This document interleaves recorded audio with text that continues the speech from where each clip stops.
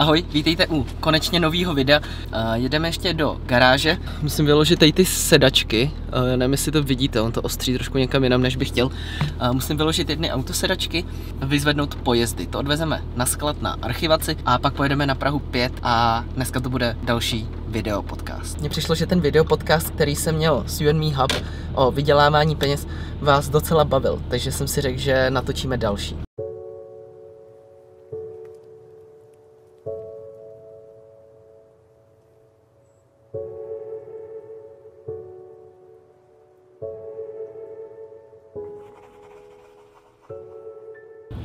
Tak jo, sedačky jsem právě vyložil. Cesta, která běžně trvá 20 minut, teďka Prahou prostě trvá na jednou hodinu a půl. Uh, ještě jedu do garáže vyzvednout pojezdy od těch sedaček, protože ty jsem tam minulý týden zapomněl.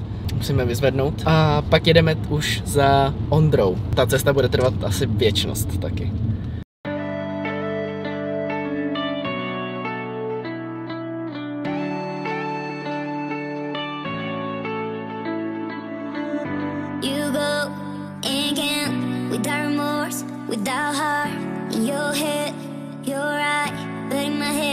You are the bad. I wanna show to the world that you're the bad one. You was being bad. That use all my love, use all my time, use all my heart. You begging me to come out with you, you, you, you, you. I don't know, I'm fine without you, you, you, you. You begging me to come Jak můžete slyšet, já jsem momentálně na Plzeňský, ale tohle je úplně jiný den. Já jsem tu první nahrávku totiž úplně dostal. Takže Ondra mi dal druhou šanci pro natočení tady toho podcastu. Tak jo, jdeme k němu.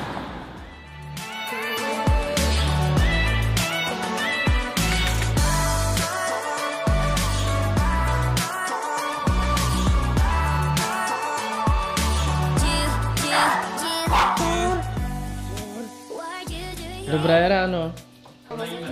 Ne, vůbec. Nedám si nic, kámo. Dobrou chuť. Dobrou chuť. Ne, nesnídám. Sorry, Čau. jsem fakt retard. To je druhý pokus našeho podcastu, jelikož to první jsem, eh, jak už jsem říkal, to jsem trošku pokazil tím, že jsem si neskontroloval audio. Já to říkal, to nevadí. Takže tady to je náš druhý pokus o tady ten video podcast. Uh, pořád téma ale zůstává stejný. Já nevím, jestli teďka jsem to v tom předchozím intru, který použiju do tohohle videa, už říkal, nicméně to řeknu ještě jednou asi. Je to šest věcí, které vás škola nenaučí nebo nenaučila. Aha, aha. Jo, pan učitel, vždycky nejdůležitější osoba. Palte Žákovskou, i když dneska už asi... dneska, Dneska jsou, dneska jsou bakaláři. My jsme, my jsme měli baka- jo, jakože to máš aplikaci, online. aplikaci bakaláři a právě mi to přijde, To že je to. To právě je není, horší. není To je pro ně, pro studenty je to těžší. Jo, Protože je ale na větší taky dohled. mi přijde, no jo, jo, jo. No. A taky mi přijde, že to zklamání je mnohem větší. Protože tvoje rodiče se kdykoliv můžou zalogovat a kouknout se, jestli jsi dneska měl jedničku nebo pětku. A je jedno, co máš. Ale přijdeš domů a taková ta radost z toho, jako mami, mami, dneska jsem dostal za jedna, z tohohle už není. Protože, Protože ta, ono už to máma, dávno ví. ta máma už to dávno ví. Takže to ti, eh, vlastně short story long, naopak. Jo, jo, jo. ne, teď už jdeme. Na to. Hele, přeskočíme to intro, který jsme natáčeli minule. Jasně. Uh, protože to už jsme si řekli, jak jsme se seznámili, jsme se seznámili odstak docela nedávno, Mhm. řekl bych tak tři měsíce max Mhm. zpátky, Mhm. uh, na jednom Peak Design výletě. Ty vlastně vůbec nefotíš, ale, ale obsah tvoříš. Ano. Co Ano. tvoříš za obsah? Já jsem se vždycky, nebo poslední roky věnoval osobnímu rozvoji. Mám koukat do kamery nebo na tebe? Jak chceš? Co ti je Jak- příjemnější? Eh, Tvořil jsem eh, především jako ve věcech osobního rozvoje a mám podcast, že jo, v Proudu, kde se o tom jako bavíme s hostama, kam velice brzy zavítáš.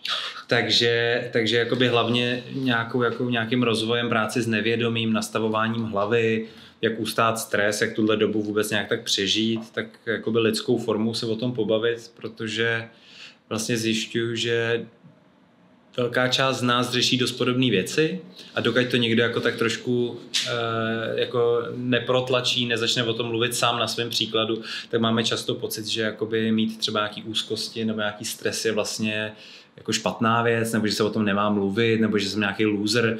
Takže ta moje kreativita je spíš z tohohle světa jako rozvoje a práce s hlavou. To jo, takže tak to je super. Uh, já jsem tak nějak naformuloval ty otázky, aby právě Jasně. Ti sedly trošku víc než normálně. My jsme se naposledy s Kubou a s Manínou hodně bavili o penězích a o tom vůbec, uh, jak začali vydělávat jako svatební a pároví Aha. fotografové. Aha. A takže jsem to nasměroval teďka akorát víc na tebe. Budou tam taky trošku peníze, protože to je to téma, který mě baví, uh, o kterém mi přijde, že se málo mluví možná, Hmm. obzvlášť jako v tady tom uh, odvětví, kdy někdo tvoří nějaký obsah. Jasně. Hele, tak jo, takový první téma, který bych chtěl probrat s tebou, Jo. Je finanční gramotnost. Já vím, že možná přes finance nejsi úplný odborník, Mhm, to nebyl ani Kuba s Manínou, mhm. ale právě tady ten pohled jakoby nás, lajků, Mhm, mě mhm. možná na tu věc baví, protože na to koukáš trošku jinak, než pohledem jako jo, nejlepší investovat do sebe, nebo jako jo, kup si S&P 500 za, dej tam tisícovku měsíčně a za 100 let budeš milionář. Víš, jako, jo, jo, jo, a jako takový ten trošku reálnější Jo. pohled na věc, než od těch investorů, kteří Hmm. prostě na YouTube rozebírají tady ty témata. A je to věc, kterou tě škola rozhodně neučí, jako Hmm. na matice nebo někde, Hmm. kde si myslím, že by to bylo fajn. To samé jako účetnictví třeba by Hmm. bylo fajn, jako aspoň ty základy, Jo. abys věděl, že hele, teď vyjdeš Gimple a když si chceš podat uh, daňový přiznání, jak to probíhá, nebo když si Hmm. chceš založit živnost, jak to probíhá, kam máš jít, co si máš jako připravit za papíry a tak Hmm. podobně. Byla pro tebe byla pro tebe finanční gramotnost něco, co se naučil jako už v útlém věku, kdy šlo ti to nějak samo, nebo se to naučil až později pracovat nějak jako s penězma a tak podobně. Zároveň ty si pracoval docela dlouho, jako Hmm. v korpu, Hm, takže jsi měl takový ten, takovou tu jistotu toho stálého platu, hm, ale teď seš už poměrně zase díl na volný noze. hm, hm, Takže máš jako dva ty pohledy do toho a mě by zajímalo, jak se to třeba i liší. hm. Tak já začnu tím koncem. Jo. E, Ko- Jo. Korporace je velká jistota, spoustě lidí ubije talent, protože ne, často, pokud nemáš vyloženě nějakou, jako jsi šťastný, že dostaneš nějakou super kreativní pozici, tak často jsi spíš jako kolečko, který dělá přesně ten daný proces. A ty korporace jsou vlastně geniálně vymyšlený, protože eliminují uh, takový ty individuální chyby, eliminují nějaký spronevěry, protože jsi prostě část toho řetězce a aby ten řetězec celý mohl fungovat, tak potřebuješ dalších x lidí, takže ta šance, že se to vychytá, je, že, že se to někde jako na to přijde, je poměrně velká. Jo. Což samozřejmě člověku v mnoha ohledech kreje záda, protože se zdokonalíš ve velice malý výseči. Zároveň ale člověk, pokud doopravdy nemá nějaký tam tu kreativní pozici, tak eh, tak eh, se to nedá vůbec srovnávat s nějakým freelancerstvím nebo nějakou malou firmou, třeba českou, Hmm. kdy doopravdy ten manažer často, byť má pod sebou jednoho zaměstnance nebo ani to, tak je mnohdy jako manažer mnohem komplexnější, protože No, musí znát finance, musí znát účto, musí znát prostě ty HR, všechny tyhle věci, jinak by ta firma nefungovala. Uh, Korporace mi nechybí, ale je to určitě cená zkušenost a třeba do začátku studentům vřele doporučuji, protože člověk pochopí spoustu věcí, vlastně pochopí, jak se ten biznis dělá, jak se vůbec seznamuju s lidmi. Hmm. Jako, jak, jako, pro mě to bylo velice cený, jsem za to moc rád. Takový čtyři roky další školy, jakoby, no pět let další školy, uh, už jako se zkušenýma manažerama. Co se týká té tý předchozí části té otázky, což se jakoby nějaká finanční gramotnost, nejsem si úplně jistý, jestli jsem vůbec finančně gramotný a vlastně Aha. co to jako znamená. Jo, jakoby, Tak za, třeba investuješ jakoby sám o sobě, nebo ano, investuju. spíš akcie, krypto, Mám nemovitosti? krypto, protože, hele, nemovitosti bych dělal nejradši. V téhle době už mi přijde můj naprosto laický pohled, eh, že už je to trošku jakoby tak vysoko, že z mýho pohledu za první na to nemám peníze Mhm. a za druhý jakoby si myslím, že už je to spíš jako, že si tam uložíš peníze, než že na tom jako zarobíš něco velkého. Hm. Eh, Mám nějaký peníze v akcích, mám nějaký peníze v kryptoměnách a to krypto je mi bližší, protože mě jako víc baví. A mě trošku baví Ok. ten gamble toho, Ok. že jakoby jsou tam velký výkyvy nahoru Aha. dolů, že můžeš o hodně přijít, hodně získat, ale třeba takový tradiční, konzervativnější nějaký investor, tak hádám, že ty akcie a přesně to SAP, co jsi zmiňoval, je jako asi ideálnější. Uh, takže tam mám taky nějaké jako malé prostředky. Ale vlastně k té otázce hlavní, ke který aspoň něco můžu říct, což je nějaká finanční gramotnost na školách, tak já se obávám, že ta škola jakoby většinu věcí tě stejně jako nemůže naučit. Jo. Já si Hmm. myslím, že máme relativně dobré školy a, a když člověk chce, tak si ty informace získá. Ale my tady často tak jako čekáme, že si takhle jako sednu do křesla a, A ty informace ti budou podaný. No. a ty mi to jako podáš a podáš Mhm. mi to ještě vtipnou formou, takže já to nebudu jako se u toho nudit a vlastně jakoby uděláš tu práci za mě a přesně a budeš tam mít ty lejstra ve žlutém, ty daňový přiznání a hezky si to spolu projdeme Mhm. a bude to ještě takový stand-up trošku, jo, a No, takže, jasně. což samozřejmě není úplně asi princip školy, takže často jsou lidi vlastně zklamaný a ta dnešní generace těch studentů je extrémně zklamaná, aspoň co jsem mohl já školit na školách, tak už se ten svět toho kantora staršího, který chce tu autoritu, který si jede ty oldschoolové osnovy, že jo, Mhm. tak se to mnohdy nepotkává s těma mladýma studentama, co jedou na TikToku a jsou No, na různých sockách Tak. a, a jsou zvyklí kliknout na tlačítko a poslat si ze svý revolutky peníze na Coinbase a tam prostě nakoupit Solanu. Tak jako by si myslím, že ta škola, pokud nestuduješ nějakou školu Kellnera nebo Romana nebo tady ty soukromí, kde platíš asi randál, tak si myslím, že nestíhají ten trend Hmm. a jsou vždycky za, což znamená, že ty, když tu školu vyjdeš, tak vlastně už stejně máš co dohánět. Takže eh, z mý zkušenosti, já jsem se asi o to zajímal hlavně ve volném čase a upřímně ten největší tlak byl ze strany mých přátel. Mhm. Jo, protože když přesně jdeš na nějaký peak design pochod, já tam potkám tebe, potkám tam Kubu, potkám tam Maninu, všichni si sednete a, a, a začnete se o tom bavit, tak já se trošku cítím jako loser, že o generaci starší než vy, o tom třeba nevím. Takže Hmm. si to otevřu, trošku si něco nastuduju a myslím si, že tady ten push je často důvodem, proč některý lidi se o to začnou zajímat. Jo? Mhm. Že najednou zjistí, hele, je mi 27, 28 a mám už kámoše, co, co už má auto třeba. A No, už má skoro zaplacený, nebo, nebo prostě má, má byt a má hezky splacenou čtvrtinu, protože chodil na brigády ke škole, protože něco Hmm. investoval, protože to Jo. chytře koupil. Jo. A myslím si, že tohle člověka často nakopne nejvíc vlastně jako se o to začít zajímat, protože chceš se mít dobře. Chceš se mít jako ten kámoš. Že? Takže Hele, já jsem třeba, já jsem se toho strašně moc totiž naučil v Berlíně, když jsem tam byl na bakaláři hm. a docela jsem se jako o svém volném čase nudil, protože Hmm. na bakaláři moc ještě nestuduješ, tam to jako tolik nehoří. Hm. A k tomu jsem měl vlastně práci už v německém korporátu v Balzenu, taková obří sušenkárna. A jako začátečnický plat prostě to nebylo špatný. Já jsem spíš jako přemýšlel tak, hele, co teďka jako s těma penězma, protože já si můžu nakoupit prostě extrémně drahý foťáky, Hm. můžu fotit na ty nejdražší filmy Hmm. a ty peníze jako rozfofrovat za ten měsíc, jo? A dostat pak zase výplatu na ten další. Ale já jsem třeba čerpal hodně z knížek Mhm. a z YouTube. Hm. Jakože vůbec tady ty nějaký, jako neplatil jsem si finanční poradce, víš? Jo, jo. Vůbec jsem se nebavil třeba s naší účetní, kterou máme, nebo tady ty věci. Hm. Prostě jsem si koupil knížku, uh, ta knížka se by the way jmenuje I'll teach you to be rich. Mhm. Od, uh, jak se jmenuje? Ramis Sety nebo něco takového. Mhm, Takový mhm. int. Mhm.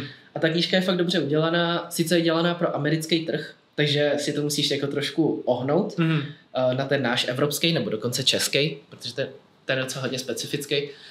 A ta knížka tě vlastně jako provází celým tím investováním. Hmm. Začíná to jako den první, založ si bankovní účet. Den druhý, pošli si tisícovku na uh, investiční Hmm. hmm. konto. Hmm. Den třetí, kup si tady tu akci. A fakt ti to jako říká, jak co máš dělat.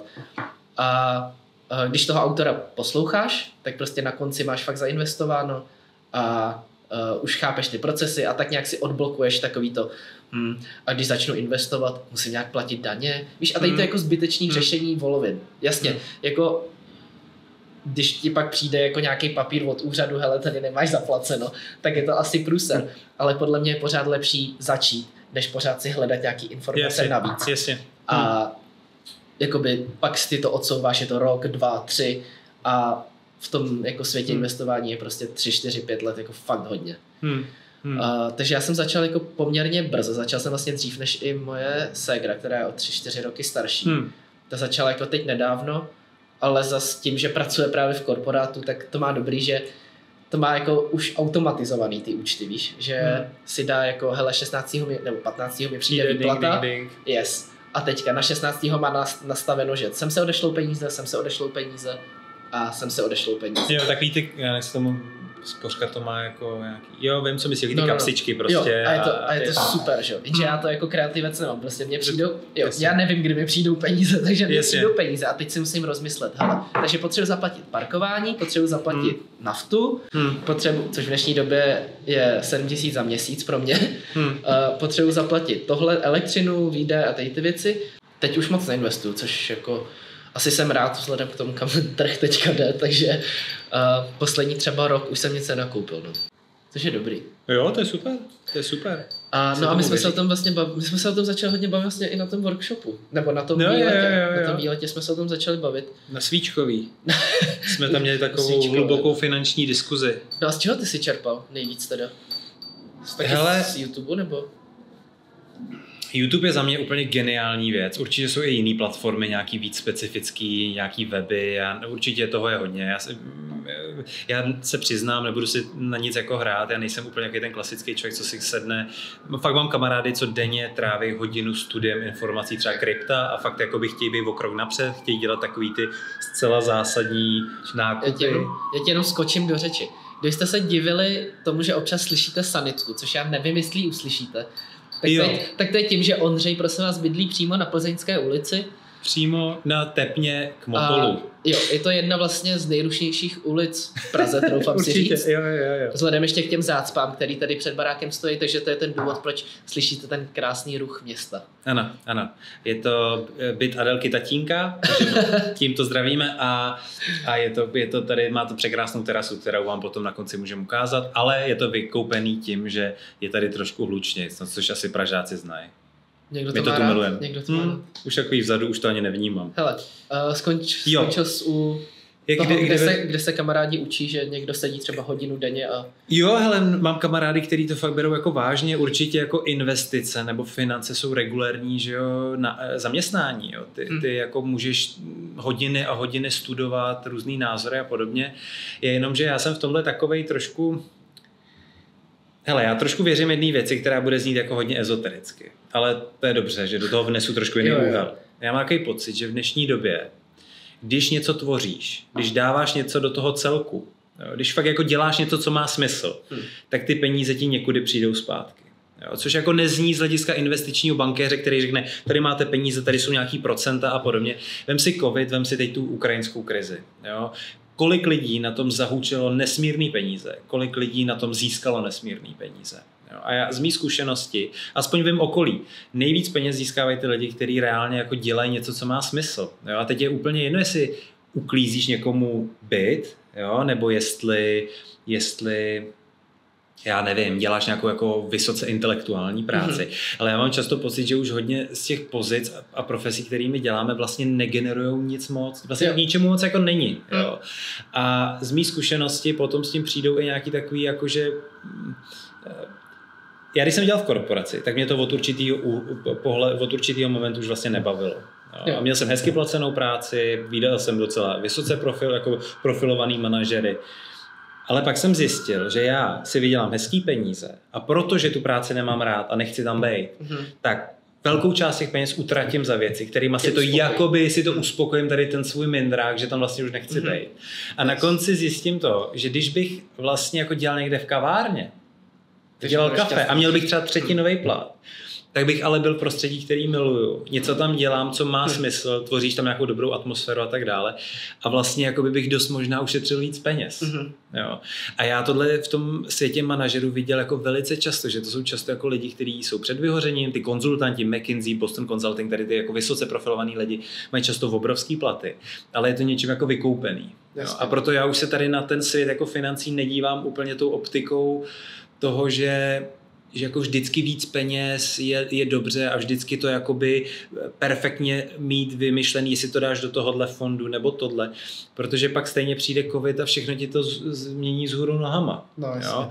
Eh, Já jsem ve svém podcastu měl, měl vlastně kamaráda, který se věnoval eh, hraní pokru a, Ok. a, a, a proč to říkám je to, že on, a to se mi líbilo a může to být jako, jako zajímavá poučka, že z hlediska těch financí určitě je to taky použitelný, že on vždycky se na to dívá strategicky. Jo. Hmm. Dívá se na to z hlediska toho, že když máš 80% šanci, že vyhraješ ten flop, nebo prostě vyhraješ tu hru, tak dává smysl tam ty peníze dát.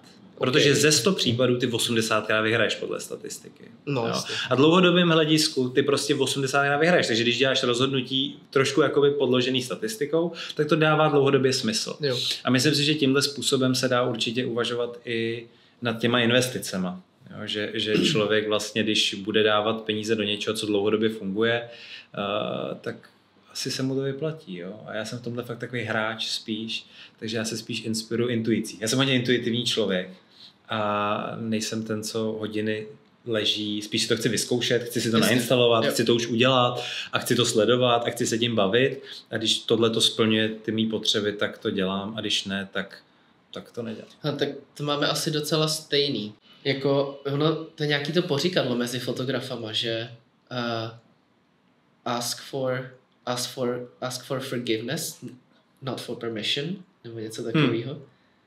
Jo, A- jasně. A docela, jasně. To jako, docela to jako funguje, no. Hele, funguje a nefunguje. Já naprosto souhlasím s tím, co říkáš. A jsem taky tenhle typ člověka.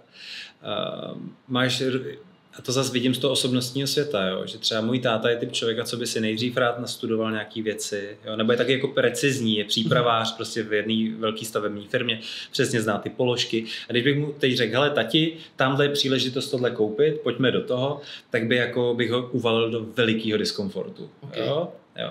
A myslím si, že my zase jako hráč, hráčové, ty jsi hrál hokej, že já jsem na americký fotbal, Aha. eh, jakoby, a je to možná i s tím trošku jako charakterově spjatý, třeba Myslím ne, si, jo, že jo. ale, je to ale takový ten jako full send prostě. prostě občas, já- já v tom, v tom Amexu, hele, jsem nastoupil a první týden jsem seděl na Škodovce a bylo tam proti mě pět manažerů, který zkušenostma byli tady, já byl tady, vůbec jsem nevěděl, co mám dělat, ale díky tomu jsem během těch čtyř let se něco naučil. Hmm. Takže tohle je mě blízký. Spíš než si otevřít příručku o manažerství, půl roku se učit, pak jít na první mini schůzku, pak na větší schůzku. Jako já mám rád ty výzvy v tomhle ohledu. A, takže já bych třeba z hlediska těch financí radil každému, ať si na nic nehrajou.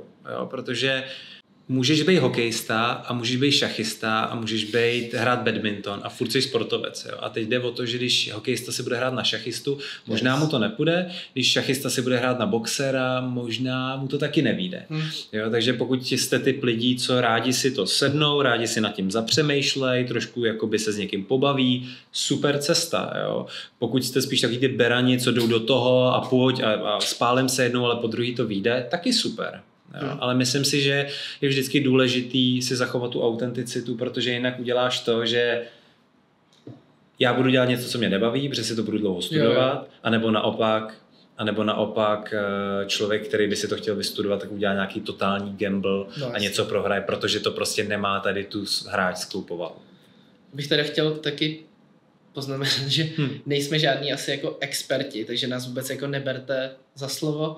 Tak nějak si tady povídáme, povídají se tady dva totální amatéři prostě, Hlavně nedělejte to, co říkáme. který, který vlastně ani nejsou zaměstnaný nikde, takže, To takže, počkej, ale to, co říkáš, to dá, uh, takže možná dělejte pravý opak. No.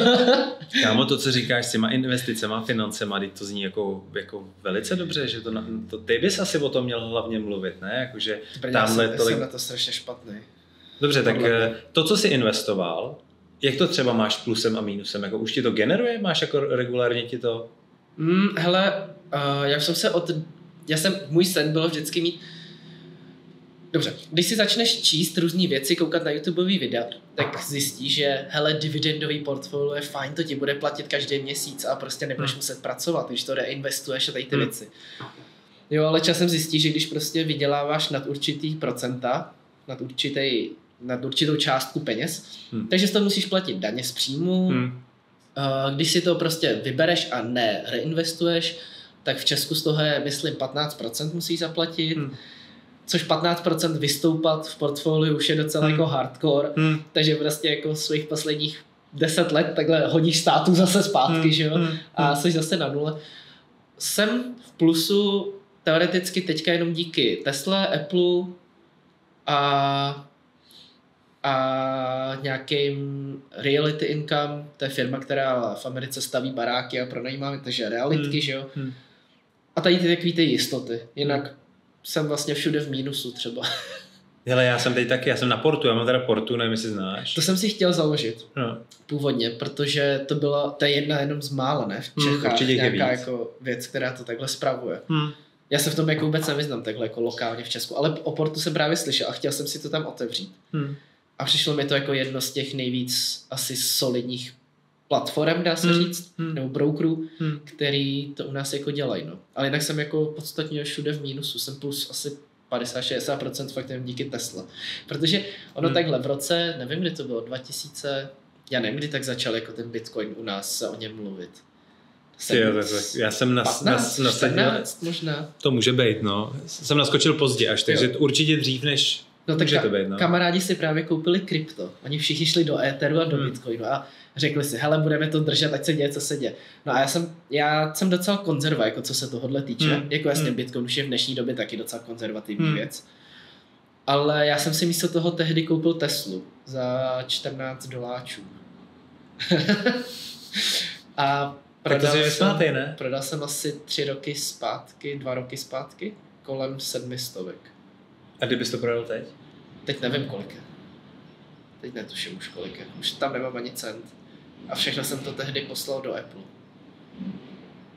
Protože mi přišlo, že mě trošku, jak- jako já jsem strašná konzerva v tomhle, takže mě přišlo jako fakt retardovaný to, že Elon dá jako tweet a Tesla, nebo si dá prostě jointa u Rogna, že jo, na podcastu, a Tesla buď letí o 30% dolů, nebo vystřelí o 30% nahoru. Káma, tohle je věc, která je super, že otevíráš, protože to ukazuje ten současný svět. A možná, že to tak bylo vždycky, to nevím, jo. ale ten, asi ne. V dnešní době už to právě ty, když se zajímáš o investice, o svět peněz, tak dřív se dělalo to, že jsi spodíval na tu firmu, jak je zdravá, jaký je tam druh manažerů, jestli, jestli má nějaký Jo. potenciál, jestli to poroste, jestli ten produkt na tom světě dává smysl a tak dále a tak dále a tak dále. V dnešní době do toho vstupuje ještě ta další linka, což je jakoby ten svět sociálních médií, ten influence obrovský některých lidí. Takže když ten člověk je šikovný nějaký CEO a podaří se mu udělat kolem sebe tady ten háv výjimečnosti, Musk je výjimečný, o tom žádná, ale když zaplatíš nějaký šikovný lidi a podobně, tak vlastně zjistíš, že že je to hrozně o tom, jak ty lidi ovlivníš. Takže v momentě, kdy přesně potom dáš nějaký tweet, tak už to není vůbec o tom, jestli ta firma má takový potenciál, ale je to o tom, jestli ten člověk má dosah, jestli No zná lidi, Jo. jestli ty lidi jakoby dělají nějaký trendy věci, že jo. A najednou zjistíš, že ta firma letí nahoru nebo dolů vlastně z rozmaru pár lidí. Jo? Jo. Takže, takže teď už to není jenom o tom znát kvalitu té firmy a co dělá, ale je to mnohdy o tom předvídat, jestli ta firma má dosah na ty lidi, jestli je potenciálně, jestli je sexy prostě, jestli to Mhm. ty lidi zajímá. Jo. Jo, že to není jenom o tom produktu už. Jako, je- jel jsi někdy v Tesle? Ne, já jsem nikdy v Tesla. Jako já bych Teslu asi, jako Moc je to neláká upřímně. ne, kvalitou, jako kvalitou toho sestavení toho auta. Jako já jsem třeba zvyklý na německý auta totiž, Hmm. Hmm. kdy máš prostě auto, můžeš ho mít 15 let a to auto jede pořád stejně, Hm, převodovka pořád řadí, hm. odzvučení je pořád dobrý a všechno. Ale Tesla je prostě pro mě jako jak Felda. Jako je to, zač- je to ten vstup na ten trh, to auto, je to, Felda je skvělá, by je to- je to americký auto a je to prostě Jasně. dělaný, je to dělaný na ty jejich silnice.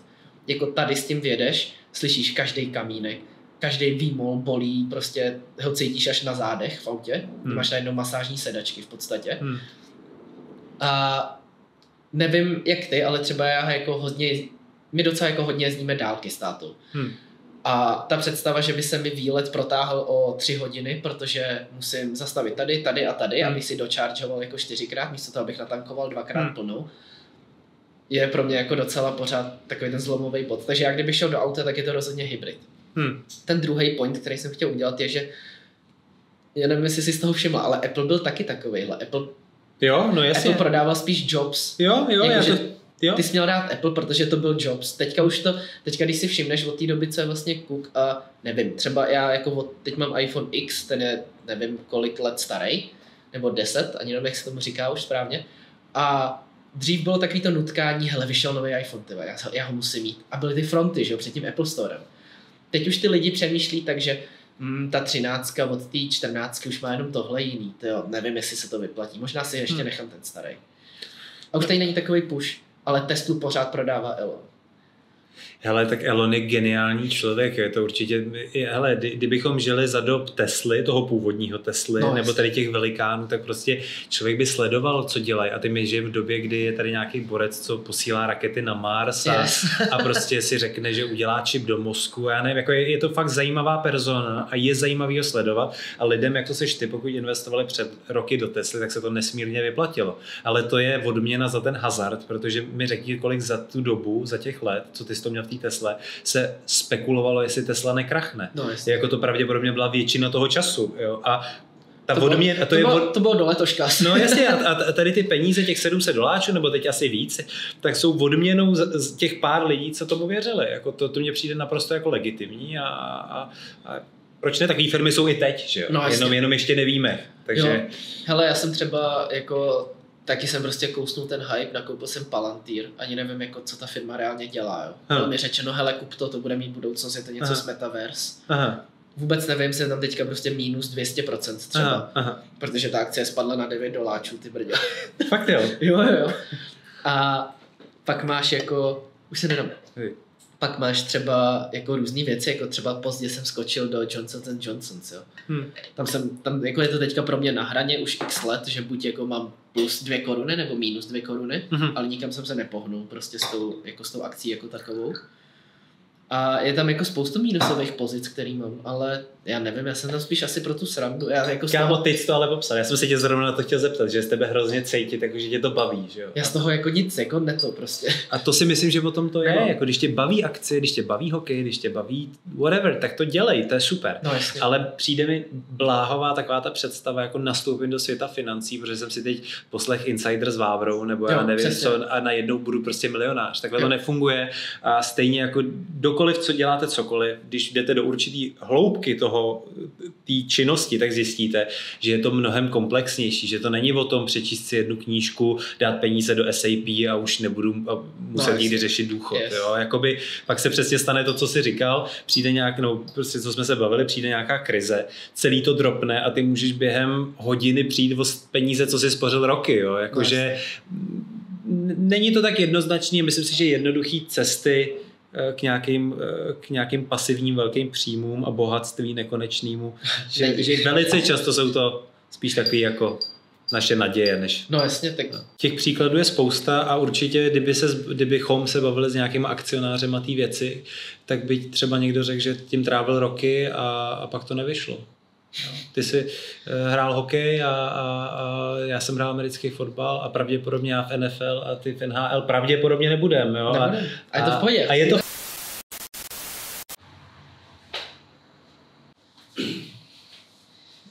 Takže se nám stejně jako minule vyplo nahrávání, ale to už je nepodstatný, my jsme se spíš... My jsme asi- si tak chtěli pokecat. My jsme se hodně zakecali už.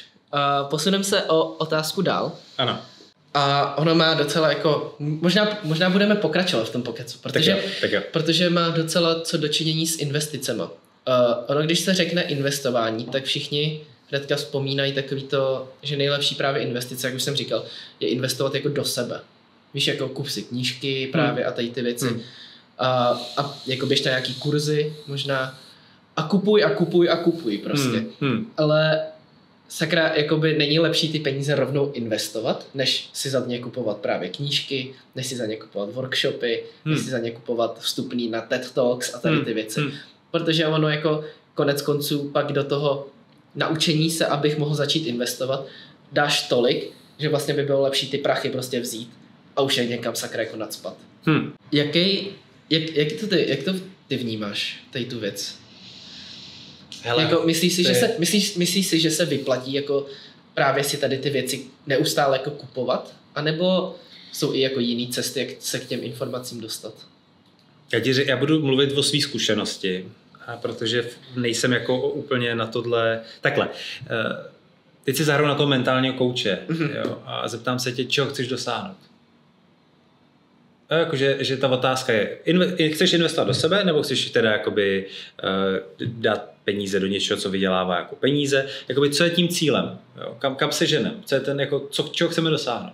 Pro mě? Pro mě, jako já osobně tohle nevyhledávám, takže, Aha. ale myslím si, že spousta lidí právě v, jakoby hledá, hledá jakoby tu cestu, uh, takový, jako takový escape, prostě takový útěk z té reality tím, že si myslí, že když vydělají balík peněz, takže už nebudou muset tohle, tamto Hmm. a tak podobně. Takže v tom hledají takovou tu, jako, takovou tu rychlou záplatu, víš? Mm, mm, Jako, že peníze vyřeší všechno. mm, mm. Ale myslím si, že to tak není, protože pak to právě dopadá tak, že si kupuješ tady ty marketingové žvásty většinou Mm, mm. a e, k tomu samotnému investování a v úvozovkách vydělávání se nikdy nedostaneš. A ty jsi to vlastně už nakousl docela, že já nevím, my jsme třeba s Babzinou, s přítelkyní jsme třeba jednu dobu, jsme se o tom bavili před tím podcastem, Hmm. flipovali křesla. Hmm. Že my, jsme, my jsme jako chodili prostě na bazoše, na marketplace a tady ty jako věci a hledali jsme ty nejlevnější křesla, co tam jsou v nějakým smysluplným dojezdu, což pro mě bylo třeba ještě kladno Jasně. a tady ty věci, že Jasně. prostě nepojedu jako někam do Karlových varů jako pro křeslo. Jo. Hmm. Přivezli jsme křeslo, já jsem ho normálně jako vytepoval, tu jsem si ani nekoupil prostě tepovačku, Hmm. nebo tu napad, tu, tu takovou tu věc od Kerchru, jak stříká tu Jo, párnu, jo, jo, jo, saje. jo, jo, jo. A půjčil jsem si to právě z jedné restaurace, pro kterou pracuji, takže jako prostě jsem nic neinvestoval ani do toho. Vyzvedli jsme třeba dvě křesla za, nevím, tři stovky, čtyři stovky obě, někde u Kladna. A přivezli jsme to právě do Prahy, kde cena je trošku jiná. Hmm. Vyčistili jsme ho, dřevo jsme vyleštili a flipli jsme ho jako za tři a půl jedno. Takže jako rojko obrovský. A jestli to je to, co tě baví, tak jako proč ne? Jako nemusíš prostě kupovat akcie, kupovat si knížky a učit se investovat, že? Takže myslíš si, že to je jako o nastavení mysli, jenom toho jako najít, najít si tu cestu, kde budu spokojený s tím, že dělám tohle. Jakož kdyby u nás fungovaly garage sales, tak já jako budu lítat po Praze a vykupovat garáže. Hmm, hmm, hmm. Protože jako nevím, možná to je tím, že jsem Větnamec a že rodiče prostě pracovali na SAPě nějakou část a že, Myslím si, prostě že tím to tam, není. tam je ten obchodní duch, Jo, no to jo, to jo. ale, ale jako flipování věcí, třeba kdybych si měl vybrat mezi Hmm. investováním a flipováním věcí, tak budu flipovat do nekonečna. Jo, jo. Ale, ale já si nemyslím, že to je špatně, jo, nutně, protože eh, ty jsi, to, ty jsi to zmínil a po to bych se podepsal, je, že člověk má dělat to, co ho baví. Vždycky, když to člověka baví, tak je to dobrá známka, že ho to vede tím dobrým směrem. A mě bavil osobní rozvoj, tak jsem se mu věnoval. Tam nebylo jako, že se věnuju osobnímu rozvoji, hrozně jsem to nějak kalkuloval a vybíral mezi oborama. Ne, mě prostě nezajímala truhlařina, zajímal mě osobní rozvoj, tak jsem se vydal tím směrem a, No, a člověku to potom dobí tu energii. Že jo? Mám spoustu kamarádů, eh, který odešli z korporace, když si tohle uvědomili a začali dělat tu truhlařinu, protože si řekli, ale lidi, já jsem se vždycky chtěl živit rukama a v, to, v té naší společnosti se říkalo, že to je něco jako low, jo? že to je něco jako, vlastně, že jsi nic moc nedokázal.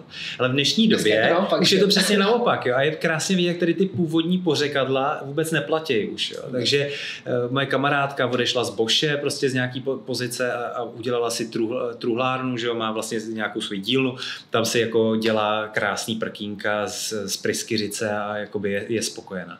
A já si myslím, že tohle je ta cesta, protože mám ve svém okolí a v tom světě korporátu jsem byl a znám ty lidi, co vydělávají těch 100 tisíc a vystudovali Oxford a je jim 22 a jsou prostě mladí.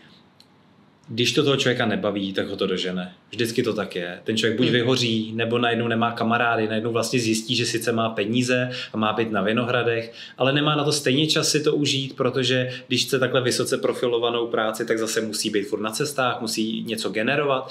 A tam se dostáváme k tomu, že, že, že z mýho pohledu ta nejlepší investice je dělat něco, co tě baví, protože tě to vždycky energicky trošku dobí zpátky. Jo.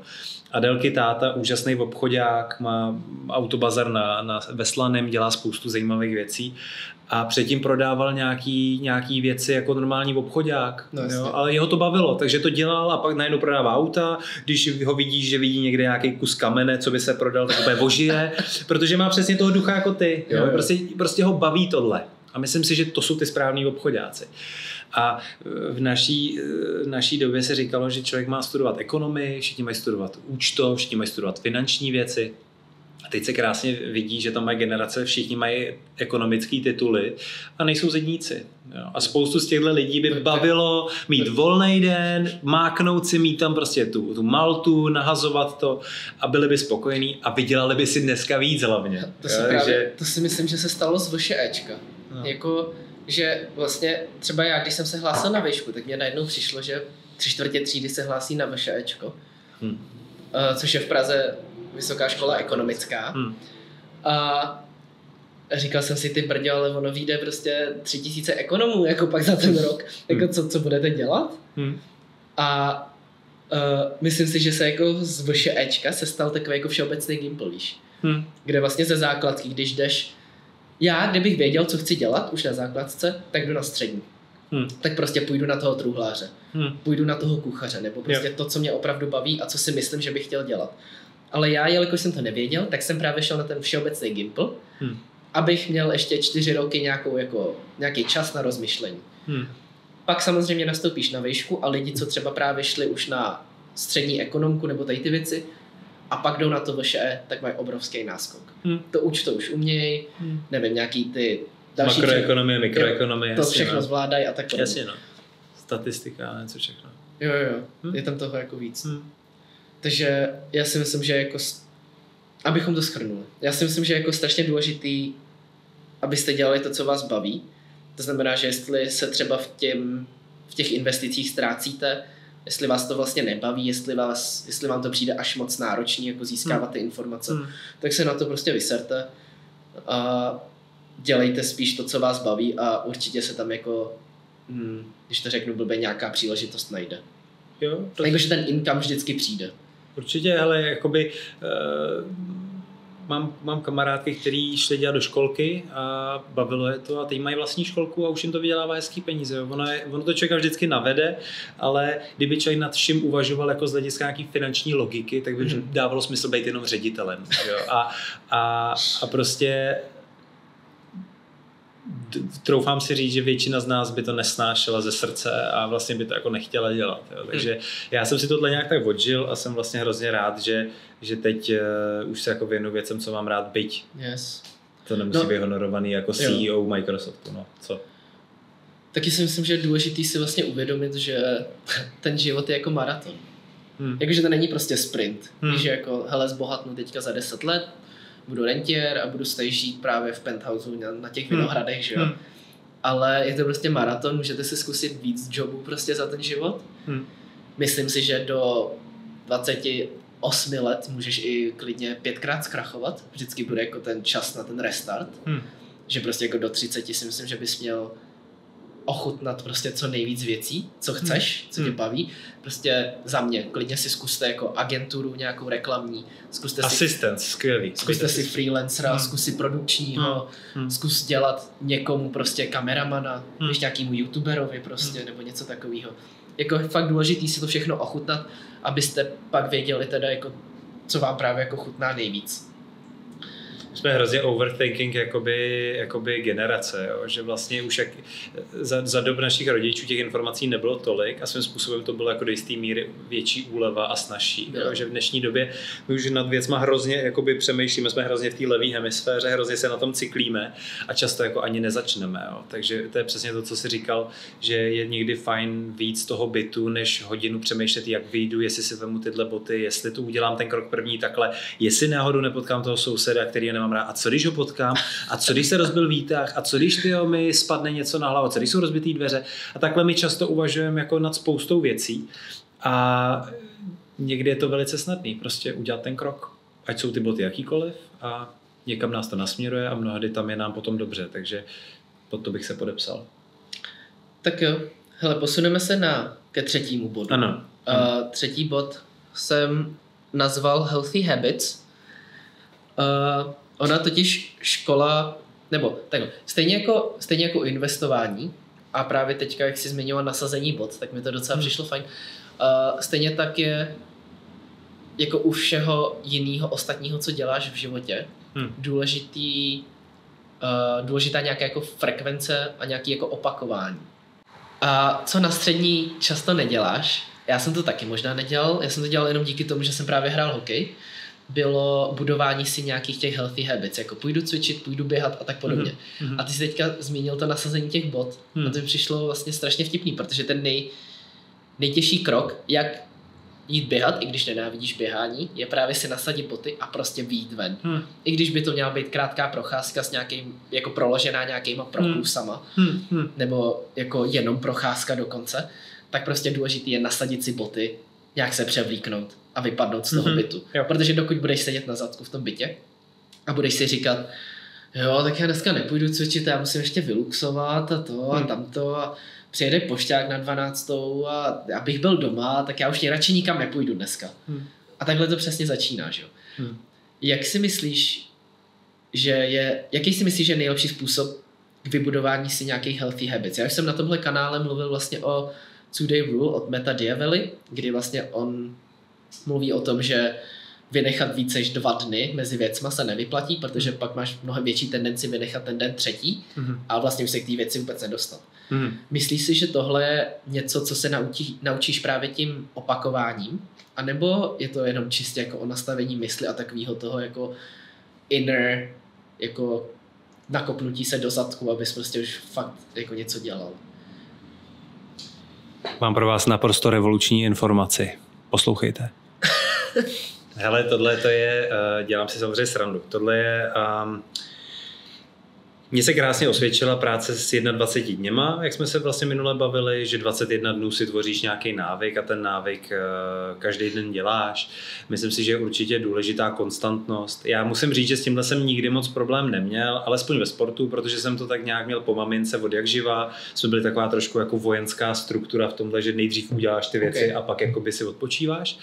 Ale určitě, čím je člověk starší, tím víc jsou ty koleje těch návyků vyjetý Mhm. a člověk zjistí, že vlastně ty návyky potom jako jsou, jako, eh, jsou předvojem toho, jestli budu úspěšný nebo ne, nebo vlastně jestli ty věci budu dotahovat a nebo ne.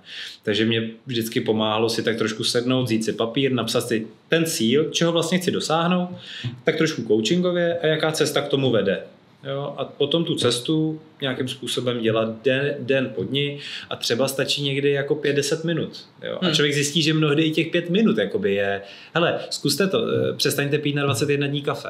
To- Jo, to nebo jsem- přes, přestaňte 21 dní přestat tý sladký. Jo. Já Jako, jsem zkusil jednou a to stačilo. Jo, vlastně člověka to hrozně vyškolí. My jsme vlastně v tomhle nesmírně už máme zajetý ty svý rituálky. A ten rituálek se dá stejně tak vytvořit nové. Jo. Takže Jo. když já třeba chci teď vypadat dobře do plavek, tak prostě 21 dní si můžu věnovat 10 minut ráno po té, co vstanu a zaskákat si jako ty na švihadle, jo, jak jsem viděl na Instagramu. A prostě, když to budu dělat první den, je to těžký, je to nějaký návyk, je to něco nového, druhý den už je to lehčí, 17. den už je to snadný. Jo. A mně tohle pomáhá, protože mě ty rituály vlastně dělají ten život snažší. Já mám rád trošku strukturovaný ten den, vědět, kdy budu co dělat, dává mi nějaký pocit jistoty a bezpečí.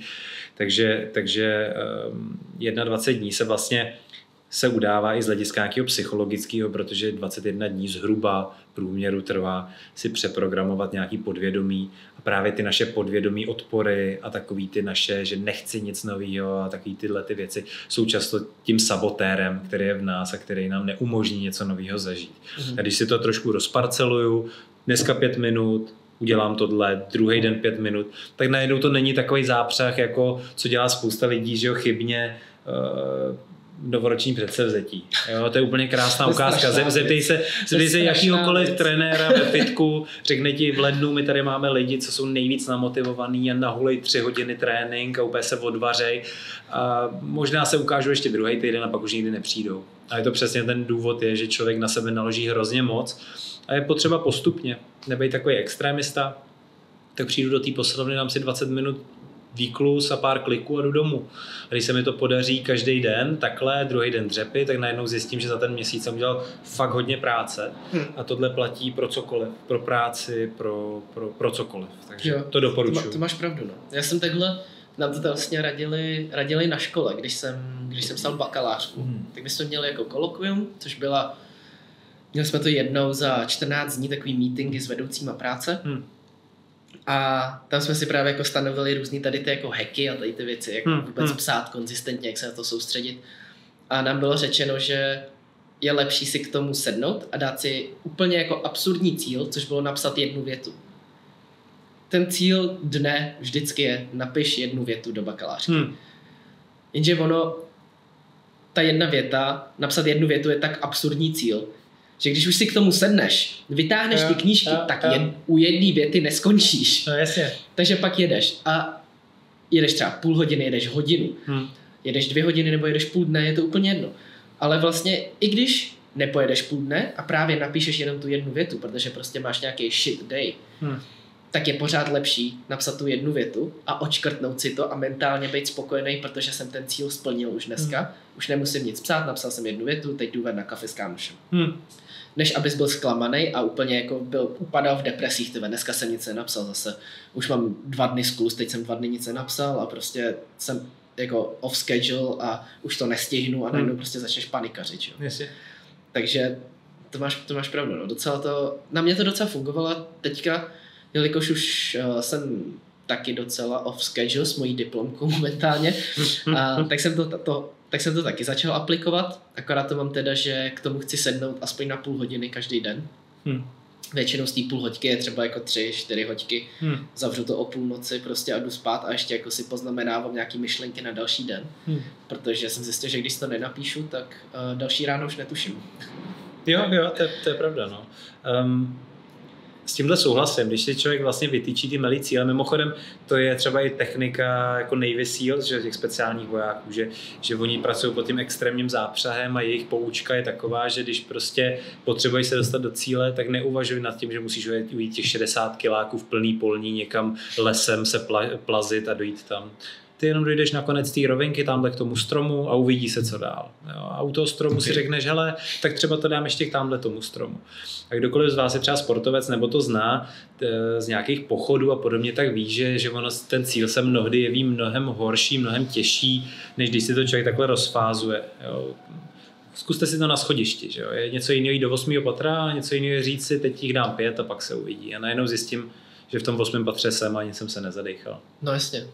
A takhle to mám i se cvičením teda. Já Mhm. vždycky, teďka vlastně leden, únor, březen jsem nic nedělal, protože Mhm. jsem nějak byl nemocný, stěhovali jsme se, Mhm. neměl jsem na to náladu, energii, Mhm. chuť, ani zdravotně jsem na to nebyl úplně nejlíp. Právě proto byla ta švihadlová challenge, kterou jsem Mhm. zmiňoval. A Už končíš, ne? Už dneska je 30. den, není? Dneska končím. Dneska, Dneska můžeme je- skákat spolu. Pak. Dneska je 30. den. A, a taky jsem začal vlastně pěti minutama. První den to bylo prostě, hele, půjdu si jenom zaskákat na pět minut a právě se natočím tady na ten Instač, dám všem vědět, že prostě mám challenge, Hmm. označím tam kluky ze švih, aby prostě, a, aby o tom věděli a aby mě drželi jako accountable. A teď prostě, když jako den vynechám, tak najednou mi jako píšou, hele, co je dneska? Bude to? Jak? Bude to nebo ne? A hele, šlo to, jasně, jako tři měsíce, prostě když se nehejbeš. Já jsem jinak na švihadle skákal v podstatě každý druhý den, já to mám jako, jako Hmm. rozcvičku. Hmm. Ale tři měsíce, když jsem nic nedělal, tak třeba první týden mě tak bolely jako kotníky, chodidla a tak, jak se ti ta noha jako adaptuje na to Hmm. skákání zas. Hmm. Ale teď už zase jedu třeba 40 minut jako na švihadle, no. Dělám tam různý voloviny. Posledních 10 minut si vždycky nechávám na, na naučení jako nových tričků a věcí, abych z toho měl jako taky nějakou Hmm. srandu, aby to nebylo, Hmm. že jenom skáčeš Hmm. na místě. Ale teď už je to jako, že právě když třeba dneska jsem ještě nebyl, Hmm. tak mám takový to jako v hlavě, ty, já musím ještě dneska skákat. Hmm. Hmm. Tak abych to nějak stihl. Ale více jako paradoxní je to, že alespoň v mém okolí jsem zjistil, a ono to není v mém okolí, ono to tak je, že nejvíc efektivní jsou lidi, kteří fakt jsou jako v té přítomnosti. Hmm. Fakt jako nás hrozně svazuje minulost a hrozně nás svazuje budoucnost. Jo? Přesně tady, já mám to samý totiž. Já taky, jakoby, když dokud mám seznam otevřený, neudělal jsem to, tak jsem nervózní. A já mám vlastně rád začít ten den, udělat ty nejhorší věci a pak už mít pocit, že to všechno navíc Jo. jako je bonus vlastně. A ale zjišťuju, že ty lidi, co doopravdy mají největší zápřeh, ať jsou to nějaký vrcholoví manažeři nebo já nevím kdo, tak často jdou fakt jako v té přítomnosti, protože zjistíme, že, že ten den je poměrně dlouhý a toho času máme poměrně hodně. Když člověk fakt jako je bdělej, Mhm. tak zjistí, že má spoustu času, který, který lze jako dobře naložit s ním. A je, takže fajn si třeba udělat nějaký seznam, ale pak kruček po kručku. No jasně. Žádný extrém. Uděláme toho nejvíc, protože v dlouhodobém horizontu člověk udělá prostě víc než takový to, že to nahulím a za 20 minut tamhle se hodinu musím rozdechávat. Ono je lepší pak jít dvě hodiny pozvolna, dojdeš jasně. dál. To Jo. jsem teď viděl, jsem šel Praha Prčice, jo.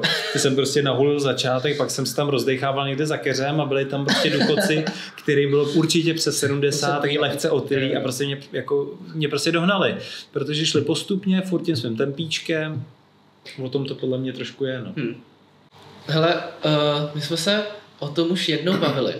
A já jsem zmiňoval, že to je něco jako zprostý slovo už dneska, networking. Mhm. Uh, už z toho nějaký lidi z toho mají alergické vyrážky, myslím. Uh, Určitě jsem jeden z nich. uh, myslím si, že když to slovo říkáš nahlas, tak si musíš brát respirátor nebo tak něco. Ale já jsem to v češtině pojmenoval jak si vybudovat profesionální či osobní vztah, který má potenciál stát se dobrým přátelstvím nebo dobrou pracovní vazbou s výhodami pro obě strany. Myslím si, že pořád Sexy název takový. Myslím si, že pořád lepší používat networking, že jo? uh, já jsem totiž uh, strašný introvert. A i když se to nezdá, protože mm, na průměrného člověka tvořím docela hodně obsahu, si Hmm. myslím. Hmm. Uh, podcast nepočítám, tohle je teprve druhý díl za dva roky. Ale mám Díl na nějaký, rok, pohoda. hele, mám nějaký videa na YouTube, uh, k tomu se dostaneme, jak jsem Hmm. začal. Mám několik Instagramových účtů, který spravuju i ostatním lidem. Mám svůj Instagramový účet a docela hodně tam vystupuju a tak podobně.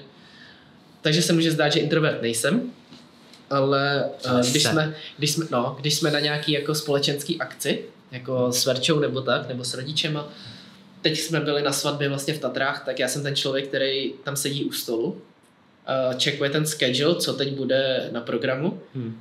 a checkuje ty hodinky a kouká se, kdy už bude volná zábava a kdy je konec jako tady těch věcí. Jo. Hmm. Hmm. Společenský akce, jako já jsem ten týpek, co sedí jako v rohu nebo Hmm. na baru se svojí skleničkou whisky, useká si, usekává si tam a, čeká, až někdo přijde a začne s ním mluvit. Hmm. Jinak Hmm. jako nemám prostě, neseberu jako koule a nepůjdu jako já. Hmm. A k tomu, jak jsem se dostal k YouTube ještě, to bylo taky vtipný. Opět v Berlíně na bakaláři, když jsem neměl co dělat, jsem si řekl, hele, začnu natáčet na YouTube. Myslím si, že by někoho mohlo zajímat studium zahraničí, Hmm. studium fotografie v zahraničí, hodně specifický.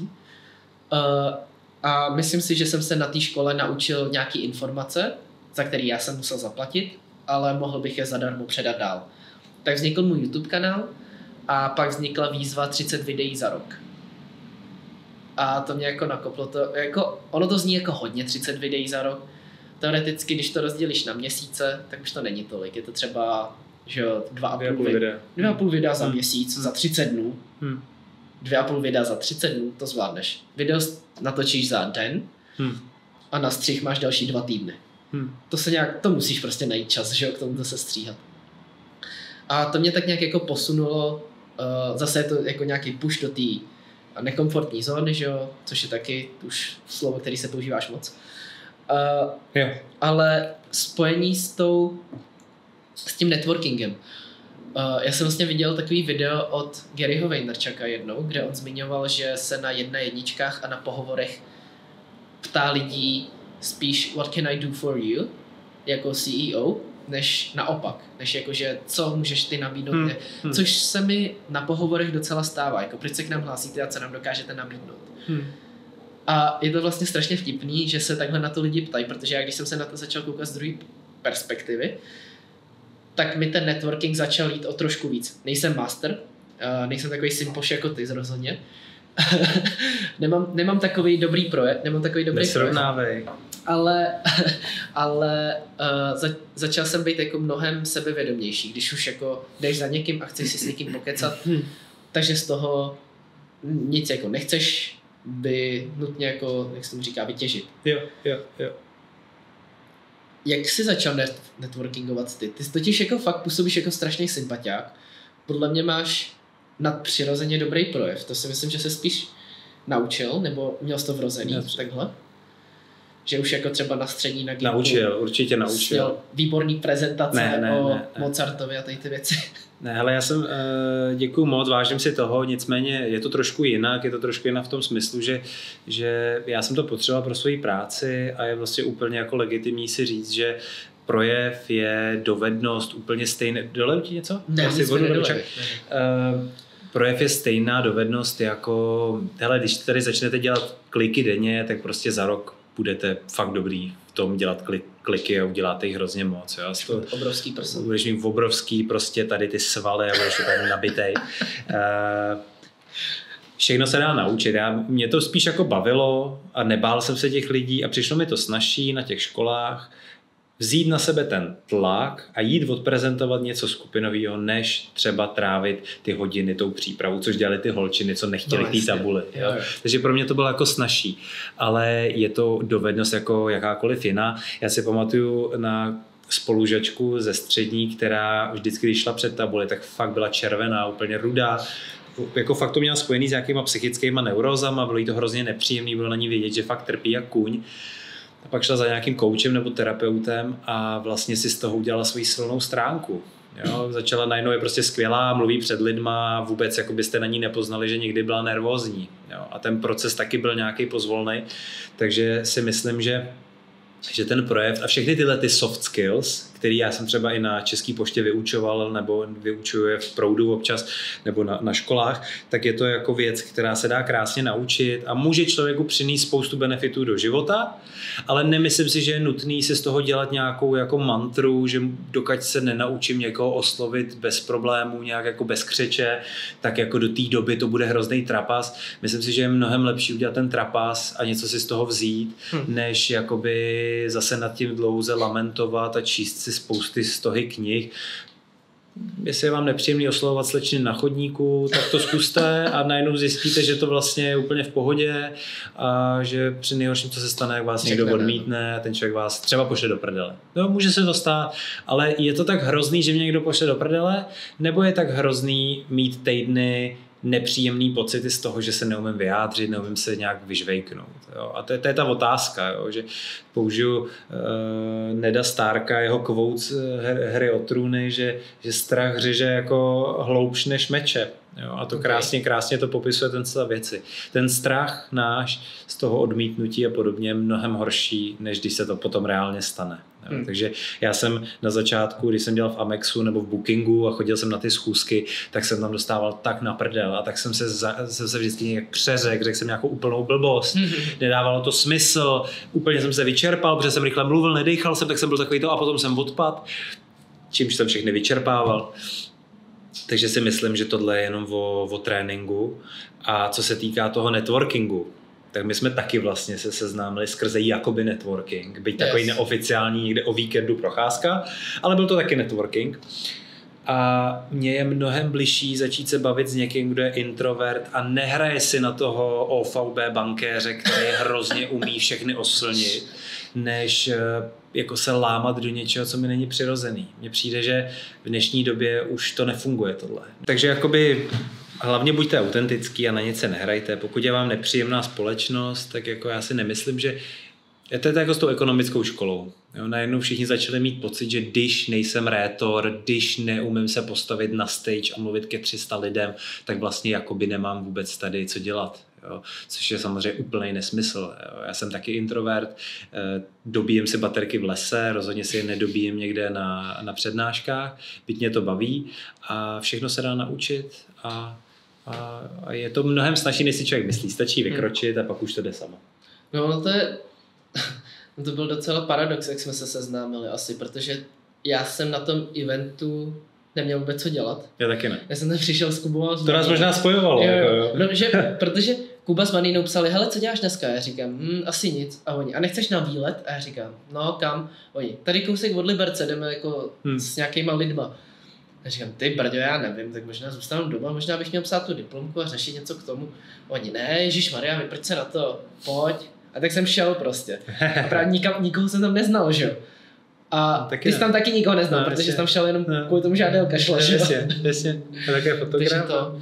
Bylo to setkání fotografů a ale, ale o tom to je, jo. Jakoby, eh, když by přišel na tenhle event někdo, kdo je hrozně dobrý networker, hmm. jakoby hrozně dobrý, tak ti říkám, že by stejně mohl nepochodit. Jo? Myslím hmm. si, že eh, to, že prostě se s někým máš průnik nějakých hodnot a, a, a, a nějak tak si lidsky sednete, tak to skoro tě žádný networking nemůže naučit. Jo. Můžeš být trošku méně klamzy, můžeš nepoužívat nějaký ty slova hm, hm, hm, a tak dále, můžeš se naučit líp trošku retoricky působit, ale to vůbec neznamená, že, že, že jako to nebude trapas a upřímně takový ty setkání americké komory, na který jsem chodil, jsem byl v Amexu s paní ředitelkou Martincovou, tak to za mě byly jedny z největších křečovitých setkání, kde si banda top manažerů chce jakoby Jo, jakože mě to nedávalo smysl a proto možná jsem tam taky nebyl, nedělal nějaký hvězdný výkon. Když jdu takhle s pár lidma si zafotit, tak se člověk uvolní a řekne si tak co.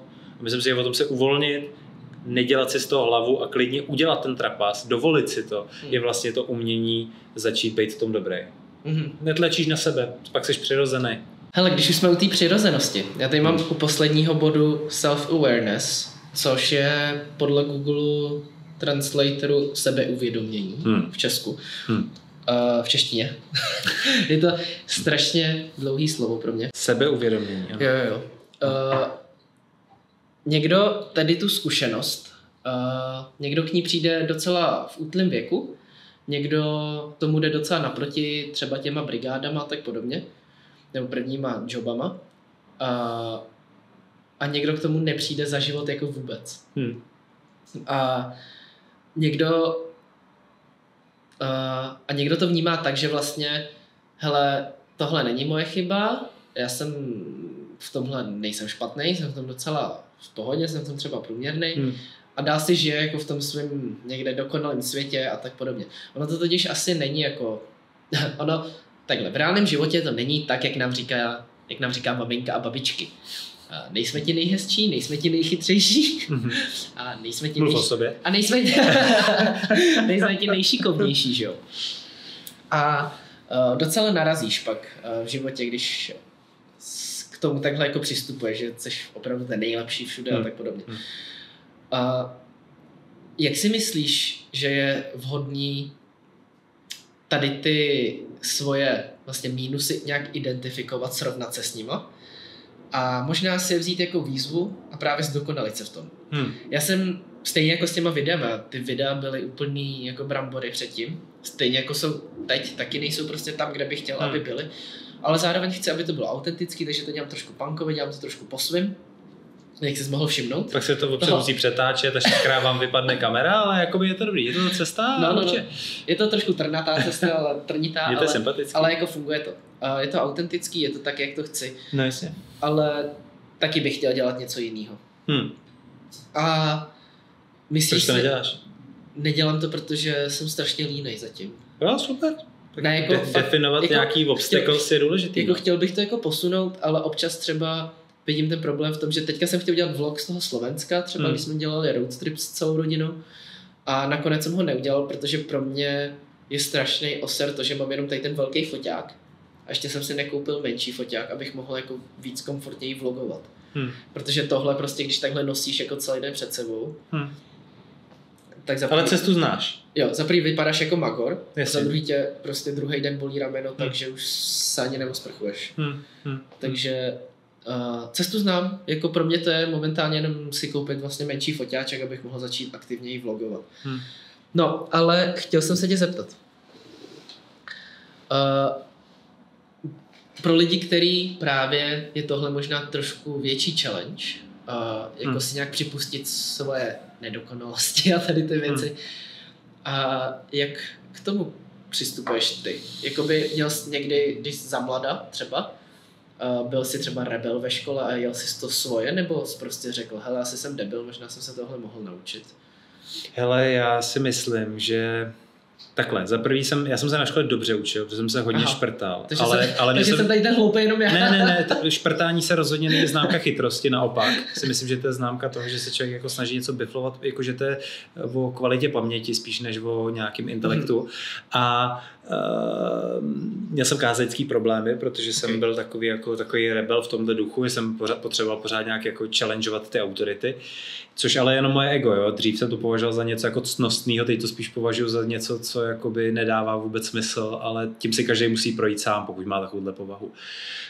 Uh, Myslím si, že to, co jsi říkal, s tím nejlepší, nejchytřejší, nejsme nejdokonalejší, to, to je taková jako řeč ega, jo? to je Hmm. takový, my žijeme ve světě, kde to ego má pořád pocit, že musí jako vyčnívat nad ostatníma, jo? Že, že musí být nejvyšší a musí mít nej, nejkrásnější sixpack a musí mít nejvíc peněz a, musí, a mám spoustu mindráků, jako, jako každý ego má spoustu mindráků s tím, že když už mám hodně peněz, tak přijde někdo, kdo jich má ještě víc. Tyjo? No, a potom, když mám to krásné auto, tak přijde někdo a má jachtu. A když mám konečně tu jachtu, tak se dostanu do skupiny lidí, která má všichni mají letadla. A když potom se dostanu do skupiny lidí, co mají letadla, tak mají všichni fotbalové kluby, kluby v Premier League. Jo? A, a najednou zjistím, že ta pyramida nikde nekončí a že to je taková jako honba, ono se skoro nabízí to slovo Matrix. Jo? Jako Je to taková honba za lezení po tom žebříčku nahoru, nahoru a pořád zjišťu, že nejsem jako enough. Jo? No. A paradoxně největší změny v těch životech lidí nejsou, když dostanou tu jachtu, když mají to auto, eh, nějaký to eh, aero nebo klub. Ale paradoxně, když si řeknou, ty vole, teď já vlastně jako nepotřebuji už být ten nejchytřejší. Teď já vlastně můžu být jenom jako takhle chytrý, jak jsem a je to jako OK, jo, a už je to jako enough, jo. Protože tady ta hra pořád víc a víc a víc nikde nekončí, což znamená, že pokud tenhle mindrák v sobě mám, tak to, že se operat, o nějakou operací, nějakým zázrakem zvýším o 5 cm, mě jako nezmění to, tu můj nějaký jako tu vnitřní hodnotu sebe, že jo. Potom budu mít zase jiný mindráky, to už je jako nastavení hlavy, takže eh, vychází to samozřejmě z toho, že se všichni se všema srovnáváme, ale je důležitý podotknout jedna věc, my žijeme tady ve světě tak jako polarity, jo? buď jsem chytrý, nebo jsem blbej, buď je to černý, nebo je to bílý. Hmm. Ale všichni víme, že ten náš osobní příběh je mnohem komplexnější, což znamená, že můžu být naprostý hovado. shades. jo, Fifty Shades, jako eh, bez jakéhokoliv sexuálního kontextu. Jo. No, jasně. Buď můžu být, můžu být chytrej, ale můžu být taky úplný hovado. Můžu být naprosto jakoby z hlediska společnosti neinteligentní a můžu být naprosto rizí charakter. Jo. A eh, ta cesta z mýho pohledu tady z toho začarovaného světa mindráku a komplexů a takový ty, takového toho nedostatku, té nespokojenosti, toho neštěstí, je ta, že začnu taky trošku si uvědomovat to, co jako už mi jde a to, co už jako mám a to, co už Hmm. jako funguje. A najednou zjistím, že natáčím skvělý videa, že, že prostě jsem pracovitý, že umím tamhle sehnat skvělý kšefty, přeprodat věci, že studuju v Berlíně, že dělám tohle, že dělám, že jsem byl skvělý v hokeji. Najednou zjistíš, že ten seznam věcí, co mi jdou, je prostě stonásobně delší než ty pár věcí, co mi nejdou. Hmm. Hmm. A že celý problém té naší společnosti a nás všech je, že se díváme pořád jenom na tu stránku toho mínusu. Jo, což znamená, Mhm. že já se, jsem plešatý, ty vole, co s tím budu dělat, tak teď ty vole, jsem úplně, kabrio. jsem úplně v prdeli, tak si koupím kabrio a snad, Jo, jo. snad si toho ty holky nevšimnou, jo? nebo pojedu do Turecka si nechat nastřelit vlasy, nebo, jo, a nebo se na to můžu dívat, hele, jako je třeba se mnou sranda, si dokážu být uvolněný Hm. a začnu spíš tady tím přístupem zesilovat ty dobré věci v sobě. Určitě znáš ve svém okolí lidi, který můžeš se snažit sebe víc a oni si vždycky na tobě najdou něco negativního. A vlastně v tobě podněcují tady, což znamená, že v jejich přítomnosti ty seš čím dál tím Hele, horší. já jsem to teďka vnímal u toho hokeje právě, promiň, že ti do toho No, takhle jasně. skáču. Ale on to tam právě pasta strašně vymetl těm, eh, jak se tomu říká, těm redaktorům v tom Hmm. studiu hokej, kdy vlastně oni uh, vyhráli zápas s Amerikou, bylo to 1-0, nějaká, nevím, teď se to nepamatuju, první, druhá třetina nebyla nic moc. Hm. A teď právě Anty ve studiu říká, se zeptal na něco. Vyhráli jste 1-0, ale první třetina nic moc, probírali jste to nějak v šatně. A Pasta právě řekl, haha, že jako, no jo, vždycky se na tom najde něco negativního, že jo. Hm, jasně. A právě jako, že hele, 1-0, 3 body doma a my na tom právě hledáme stále ty negativa. Jasně, jako je důležité to identifikovat, to je to sebeuvědomění, abychom věděli, kde se zlepšit. To se dělá u dětí. Právě, že Verča Sandwichová metoda, ne? Yes. Jak je to? Verča, ona studuje učitelství, Aha. takže se učí pracovat s dětma, zároveň studuje speciální pedagogiku, Hm. takže hodně pracuje s dětma, který mají například autismus nebo něco podobného, něco obdobného. A právě se tam učila o tom hamburgeru, Hm. kdy je lepší jako vychválit, skritizovat nebo Hmm. dát kon- konstruktivní kritiku Hm. a pak na konci ještě vychválit, aby jako to nějak jako ucelil u těch dětí. Hm. A myslím si, že na tohle jako dost často zapomínáme, když, a, když přemýšlíme o sobě. Ale kdyby David Pastrňák uvažoval tím, že se bude celý život zaměřovat jenom na to, co mu nevyšlo, tak by v životě nemohl být tam, kde je. Jo. To je prostě je úplně fascinující, jak rozličně, byť jsme všichni jeden druh, jsme prostě nějaký homo sapiens, nebo jak se jmenujeme, tak je úplně fascinující, jak, jak rů, rů, různorodě nám ty hlavy fungují. Mm-hmm. A byť my, bych, my to tak trošku z té role oběti si myslíme, že Elon Musk se narodil jako genius a Steve Jobs se narodil jako nějaký vizionář. Jasně, do určitý míry to tak je, ale do určitý míry my s tou hlavou můžeme pracovat. Jo? A my nejsme oběti. A kdybyste viděli mě před pěti lety, tak byste asi nevěřili tomu, jako co se dá za pět let všechno udělat. Jo? Prostě stačí pár minut denně, trošku si Třeba i popsat to, co se nám na sobě nelíbí, na tom se dá určitě zapracovat, ale rozhodně já bych většinu času trávil spíš tím, že bych zdokonaloval to, co mi jde, co mě baví a už tím si k sobě přitahuju jiný typ lidí, už tím si k sobě přitahuju jiný jako zkušenosti, jiný příležitosti, jiný práce, než když budu takový ten hnidopich, ten škarohlíd, co pořád je nespokojený. To jsou lidi, který nikdo nechceme mít kolem sebe, ve všech podněcou jenom to špatný, a my chceme přece kolem sebe lidi, kteří v nás otevírají to dobrý a my chceme být těma lidma, který v druhých jako zlepšují tu energii. Takže z mýho pohledu otázka, jestli budu nejchytřejší, nejhloupější, není ani tak důležitá, jako spíš, co mi jde, tomu se věnujeme a, a, a já, jsem, já jsem taky takový byl ještě jako do nedávna vlastně, kdy mi asi v rámci třech, čtyřech dnů hmm. pět lidí řeklo, ty jsi strašně kritický. Hmm. Já jsem pak přišel domů a říkám, Verče, jako ty brdě, ale asi jsem, asi jsem fakt jako hater, takový ten, víš, jako hmm. dopich právě. Hmm. A teď jsme začali doma praktikovat to, že uh, když máš nutkání zase něco skritizovat, říct nějaký hate, hmm.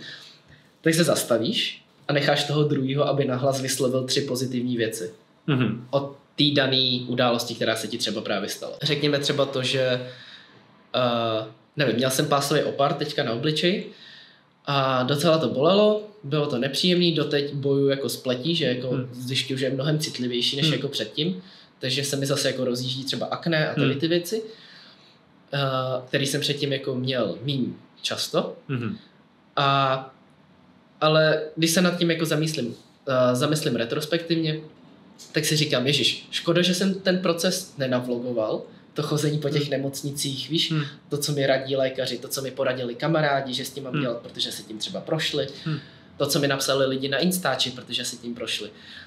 A uh, škoda, že jsem si to jako nezaznamenal do toho digitálního deníčku, protože to je jeden z důvodů, proč jsem tady ten YouTube kanál začal. Já jsem si chtěl, já jsem si chtěl hlavně zdokumentovat uh, své studium v zahraničí, protože je to taková jako jedinečná možnost docela. Hmm. Jako byl jsem jako ten lucky bastard, komu rodiče to jako zaplatili, protože jsme ty finance měli a kdo si to jako mohl dovolit. To samé, když můžeš jako vypadnout na Erasmus. Já si myslím, hmm. že by toho každý měl využít, jestli hmm. má tu možnost. Hmm, určitě. Protože když už ti nic nedá to studium v tom zahraničí, tak ti, dá, jo, tak ti dá ta zkušenost a to, že musíš hmm. rok bydlet sám a starat se hmm. o sebe prostě a, nikdo, a maminka ti neudělá oběd prostě den, hmm. den dopředu, hmm. protože víš, že ty si ho neuděláš. Jo, když prochlastáš peníze, tak musíš někde jinde yes. sehnat. Jo, no, je to super. Jako pro mě v Německu to bylo jako šílený, protože tam jsou vlastně v neděli zavřený všechny obchody, takže já když jsem si nešel nakoupit v sobotu, šel jsem kalit místo toho, hmm.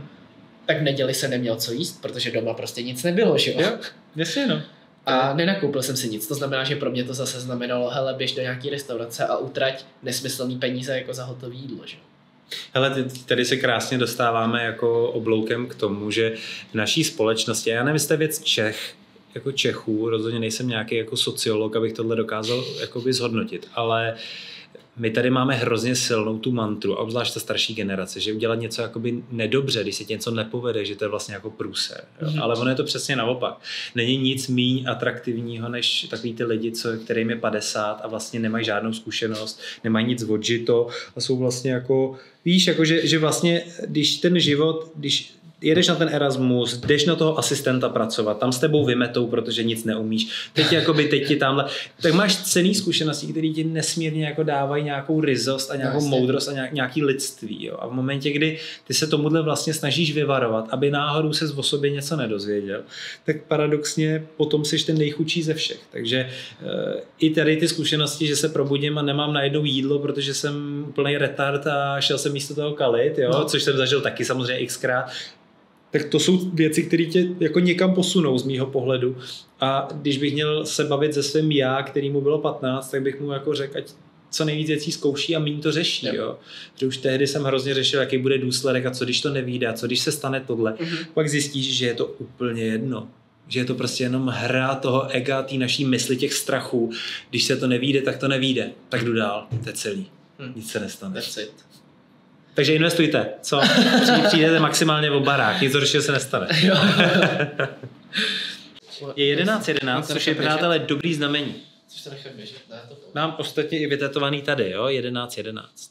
Takže prostě Wow, moje číslo. That's my lucky number. Jo, that's my lucky number. Jo, a 11, 11 je jako nějaký tvoje číslo? No, vydám ho všude. Počkej, fakt? Tak, furt, pořád. Se zbudím v noci, nebo v noci, tak já chodím na bedu. Tam se zbudím ráno. A je 11, 11. Já si do prdele, jak bych asi měl být práci. Kolik piješ tak za den? Tak třeba 3 litry. To je docela velký. Ale to, já to Kolik nemám máš? takhle úplně. To máš tak 80 kg. Přes 80. 85, 192. Ty, a, ty jsi velikán. Já jsem fakt velký. Takže já nejsem- Já už jsem velký kluk. No, takže já nejsem Ale- prostě Lilliput, ale Ondřej je docela velký. Takže... Kámo, no je to, to je hrozně zajímavé, co říkáš, protože ty vlastně popisuješ to, jak to většina z nás v hlavě má, jenom někdo to umí říct nahlas a někdo ne, jo. A myslím si, že tohle je právě ta cesta, kterou nesmírně pomáhá osobní rozvoj, nebo takový to, jako být sobě upřímnej, je, že Jo, že vlastně tohle je ta autenticita. Že když prostě mám v sobě tenhle ten vzorec, tak eh, jsem OK s tím, že ho, že ho tam mám a tím se z toho tak trošku vyvazuju. A nedělám takový to, že, že prostě rád šetřím a hraju si na to, že ne. Ne, to je super, já jsem- to je já prostě, jsem- tak jsem jsem spořivej, tak jsem. Já jsem, to, jako? ne, já jsem v tomhle fakt socen, já mám jedny tenisky. Hm. Uh, nosím teda Allbirdy, to je taková... Jsi říkal, to jsou ty special... Yes, to je taková ekologická značka uh, z Anglie a oni vlastně vyrábí, teď mají i pantofle letos, teďka launchli pantofle na tohle léto, na to se těším, to si chci vyzkoušet. A oni vyrábí boty, trička, podnožky a tak z ovčí vlny. Jakože 100% sustainable, eco-friendly Hm. Hm. a, a ty boty jsou fakt jak mráček. Takže masakr. Mám je teďka, já jsem si vždycky kupoval vansky, ty mi strašně jako zničily záda. Tak jo, tak se měj krásně. Ahoj, Jádi, čau. O čem jsme to mluvili? A boty, boty mám taky jedny, nosím je každý den. Předtím jsem si kupoval vansky, tam u toho jsme skončili, a ty mi strašně zničily záda. Takže jsem si pak začal kupovat klasicky Nike tenisky, abych měl jednu velikost a vždycky, abych věděl, jaká velikost to je. Hm. Jenže problém u Nike je, že ty si koupíš jedny tenisky a oni se za dva roky přestanou vyrábět už, jako ten model. Takže Hmm. si musíš zase koupit jiný. Hm. No a u Allbirds je to fakt, že to je docela nová firma na trhu a ty tenisky budou vyrábět asi ještě dlouho. Hm. Že ten model jako nebudou střídat. Ale jo, mám jako pár věcí. Jako teďka jsme se přestěhovali s Verčou, jak máš takovou tu velkou skříň přes celou tu zeď, tak já mám jednu, jeden takový ten sloupeček, on má ten zbytek. That's Ale jako, no. fakt, já toho mám jako minimum, co se oblečení týče. Je to osvobozující. to, je ten, to je ten důvod, proč chodím pořád jako v tom samém a lidi si občas myslí, že hele, ty on to tričko za ten týden nepřevlíkl. Koupil jsem si i Allbirds akcie teďka, když, když, šli, když šli public a tam jsem taky prodělal dost. Koupil jsem si je za 24 dolarů a teď jsou za 6. Kdyby tě to zajímalo. Je to zajímavý. Jako, Řekl já bych si- měl spoustu zajímavých otázek, ale nevím, jestli bys to chtěl jako úplně na ně odpovídat. Takže jsem si koupil boty i akcie, ale momentálně ty boty, které už nosím dva roky v kuse, jsou hodnotnější než to, co tam asi mám. Hele, Co dodat?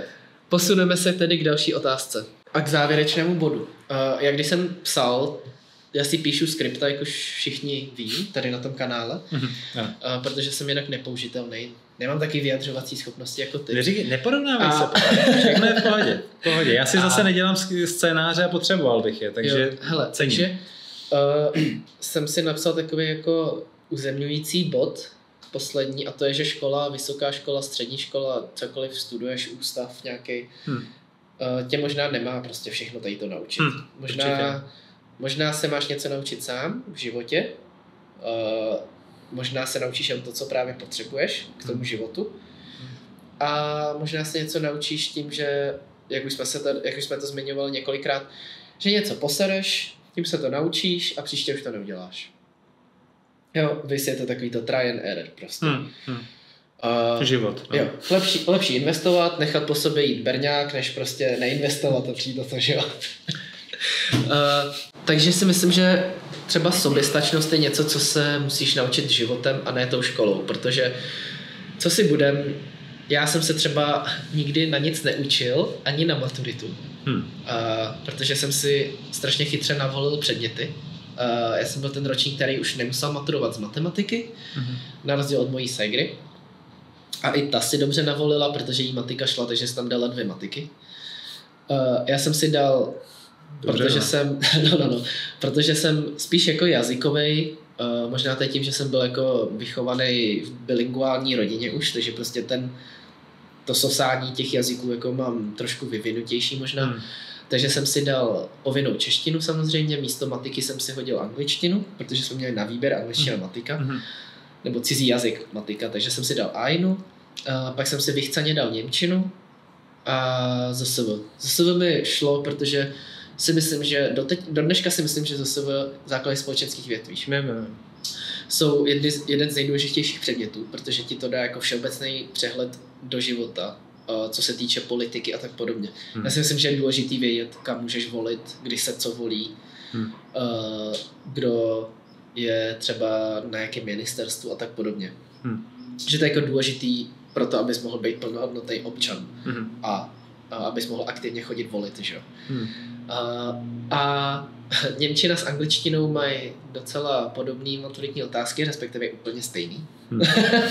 a, takže a já jsem se na angličtinu nikdy neučil, a, protože mě díky bohu rodiče v devíti letech už vyslali samotného do Anglie na jazykový pobyt. Já jsem celý týden proble, probrečel, To se tě nedělá. protože jsem neuměl ani prd. A druhý týden jsem si to moc užil, ale a pak se mi nechtělo zpátky prej. Já si, já si jako nic z toho nepamatuju, ale Strače vytěsnil. Hele, no, jediný, co si pamatuju, je, že mě nechtěli pustit na letišti do země, protože mi nebylo 18-15 Hmm. a neměl jsem s sebou žádného dospělý, dospělý doprovod, takže mě nechtěli pustit jako do země. A jsem se tam už jako na pasový kontrole rozbrečel, že jako nevím, prostě ne, neumím se domluvit, nevím, jak vám mám říct, že jedu na jazykový pobyt a že mě tamhle jako venku už čeká nějaká jako nějaká stevardka, která mě jako dopraví až do té školy, že jo. A, no ale jako jsem za to strašně rád, tady za ten push od rodičů. A díky tomu jsem si v 15 udělal uh, sjejíčka, C1 nebo co to je. Hmm. Uh, takže maturita byla pro mě docela easy peasy. Hmm.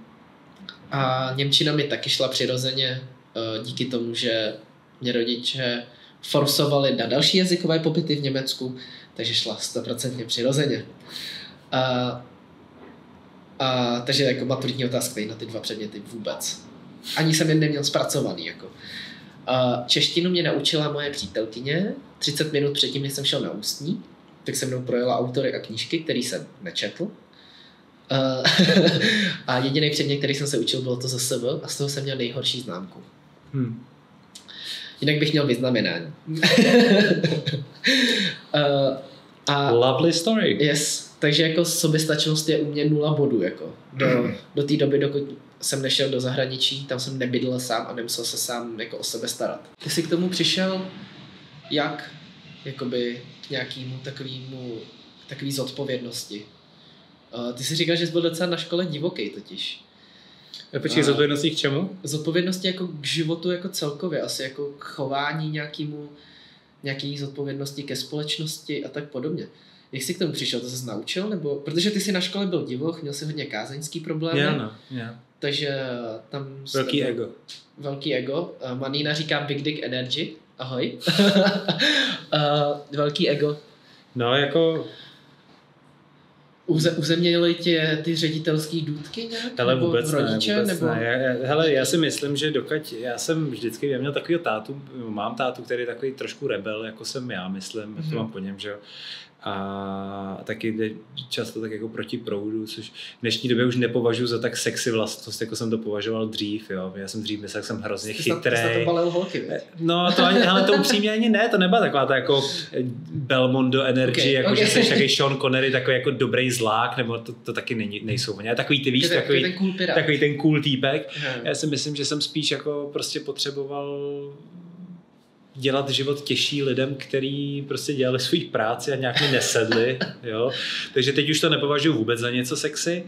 Jestli jsem nějak jako spo, společensky odpovědný, to bych úplně jako nevím, co to jako přesně má znamenat, společensky odpovědný.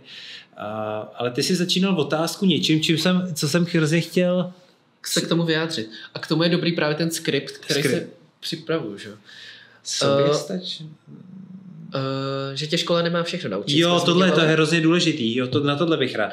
Škola tě určitě nemá všechno naučit a já si myslím, že teď tady začal panovat takový, jako že školy jsou vlastně na hovno, jo, že to je vlastně že to je takový přežitek a že ty osnovy už stejně neplatí jo. a že to je vlastně jako, jako že Rakousko-Uhersko styl a jako že, že jsme takový v tomhle fakt zaspali dobu a zaspali jsme dobu hokej a zaspali jsme dobu v tomhle a jsme vlastně úplný lemry. Já si myslím, že i kdyby to byla pravda, jo, tak ta energie nebo prostě tenhle ten přístup rozhodně nic nemění jako na stavu věci. Jo. A, my, a, a my občas máme tady ten problém jako Češi a to si myslím, že je česká povaha, možná je to jako všeobecně nějaká postsovětská mentalita. Takový to jako, že, že budeme... Teď trošku zašlo slunce, ale já to asi nechám to být, ono za chvíli totiž zase výdek. Tak počkáme? Ne. Bumpneme ASO a pokračujeme. Okay. No, že tady, že jakoby uh, máme takový ten pocit, že, že že tím, že budeme fňukat a brečet a nadávat, že jakoby dojdem k nějaký změně, jo, a tomuhle už úplně tohle si nemyslím. Odzvonil. Hm, myslím si, že jo, protože hele, eh, možná, že nemáme nejlepší hokej, jako jsme třeba mývali, ale zase veme si to do nějakých souvislostí, jsme desetimilionová země a porazíme 8-4 Ameriku, která je 350 milionová země. Jo? Jako, um, my jsme nikdy nebyli vděční za to, co jsme měli a jenom pindáme na to, co nemáme. Yes. Jo? A to si myslím, že je špatný přístup i z hlediska toho školství. Jo? Hmm. Jakoby je vůbec zázrak, že tady máme školství, že ho máme zadarmo, že máme šanci se podívat. Já jsem se podíval do Lotyšska zadarmo, hmm. studoval jsem prostě na Erasmu. Máme tady spoustu šancí a buď s tím umím pracovat a jsem za to nějak vděčný a uvědomím si, že ta škola mě má naučit taky se jako přizpůsobit něčemu, eh, připravovat se na něco, eh, dostávat třeba od učitele nějaký shit, nebo jakoby mít učitele, který je taky jenom člověk a třeba jako se mnou nesouhlasí a třeba je na mě zasedli.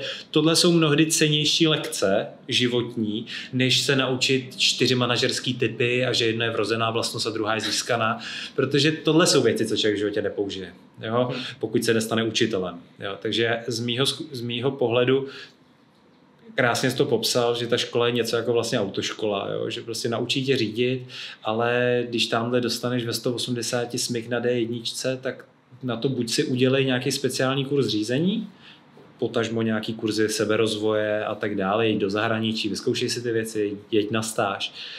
No a nebo, a nebo se aspoň nediv, že se to stalo, protože ta autoškola tě měla naučit ovládat ten vůz, ne jakoby Jistě. udělat z tebe šumachra. Že? Jo, ono taky si myslím, že to je ten, já jsem ho měl taky jako na střed, jako na Gimplu, ne, že ne, hmm. ale je to taky takový to jako, že uh, jak k tomu ty přistoupíš, tak to hmm. ti ta škola dá. No, to znamená, že já když jsem byl strašně pasivní, taky. já jsem teda byl vychcánek, protože jsem seděl v druhé lavici, pod hmm. svícnem největší tma, že jo? Hmm. A takže já jsem byl jako strašně pasivní, když jsem se neučil, nic mě nezajímalo, chodil jsem tam jenom, abych tam byl, abych nemusel mít omluvenku. Hmm. Tak se pak jako nesmím divit tomu, že mi ta škola nic nedává. Protože hmm. vlastně, kdybych se o to zajímal, nevím, vyptával bych si extra materiály k těm předmětům, co mě baví, víš a tak podobně, tak uh, by mi to možná něco dalo, možná, hmm. možná nevím, by mi ta matika nakonec šla, kdyby mě to opravdu v tu dobu zajímalo, kdybych se snažil, dělal ty domácí úkoly a tak podobně. Hmm. A já jsem takovýhle přístup měl vlastně i v těch jazycích, kterými šly. A myslím si, že prostě takový to pasivno a tady ty věci, takový to pasivní myšlení, ke kterému jsme se dneska už opětovně jako zase dostáváme, hmm. tak je taková ta cesta jako v jako do pekel. No. Ale určitě, no, jakoby já jsem to viděl, protože jsem se zaobíral rozvojem zaměstnanců, takže to jako můžete být v klidu, jestli jste tady na Gimplu máte čtyřky, nebo jste se nedostali na vejšku, to fakt jako není nic určujícího. To neznamená, že nebudete úspěšný v práci, nebo, nebo že nezaložíte úspěšný nějaký, nějaký podnikání. Jo. Tam, tam to jde mnohem víc o to, a to se zase dostáváme k tomu dávání a braní, že když člověk má nějaký dobrý záměr a chce do toho celku něco dávat, což je často to poslední, co my chceme, že jo? My chceme získat ty peníze, chceme mít 25 dnů volna, yes. chceme mít ty multisportky, chceme mít tohle. Služebák. Ale chceme mít služebák, notebook, bum, bum, bum, home office, bum, bum, ale vlastně jako nechceme pracovat. Jo? A teď jako je úplně legitimní si říct, hele, někdy je fajn si taky jako sklopit hlavu, přizpůsobit se a být vděčný, že vůbec třeba tě někdo vezme. Jo? Mm-hmm. A myslím si, že když tohle člověk pochopí, tak začne přistupovat jinak i k té škole, k těm kantorům, k tomu celému systému, jo? že vlastně člověk může být buď nasraný, že to nefunguje, že nemáme tady Ameriku, že neděláme školení, že nemáme eh, rozpočty jako na Harvardu, nebo může být vděčný za to, že může na nějakou školu jít, že se může na ten Erasmus podívat, že může se něco dozvědět a, a je to čistě o tom, co do toho dám, to, to z toho dostanu. Jo. A uh, ty jsi Ono je vlastně teď, když nad tím tak přemýšlím, pustíte si ten podcast třeba ještě pětkrát, prosím vás. A, Deset.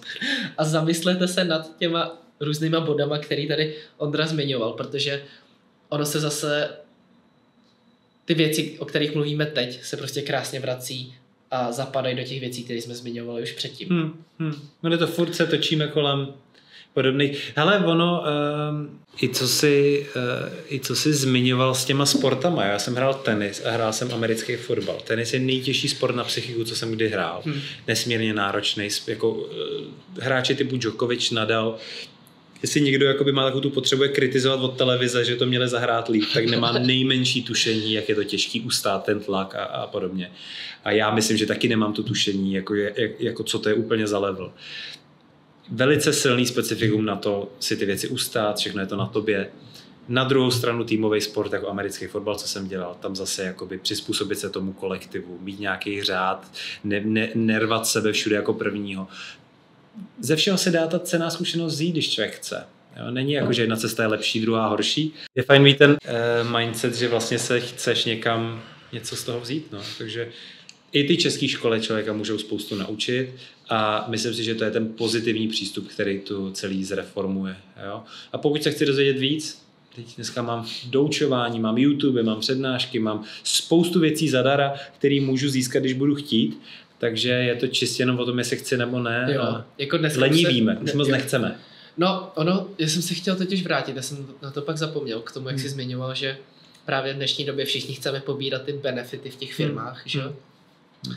A že uh, bychom nejradši všichni seděli někde v teplíčku, v kanclíčku, hmm. v létě klimoška, že jo? Hmm. Uh, nejlíp nějakým Google Officeu, kde je masáž, kadeřník. Můžeš tam vyspat. Minigolf, přesně, můžeš tam vyspat Jasně, no. Ale nikdo už nechce dělat takovou tu manuální jako práci těma rukama.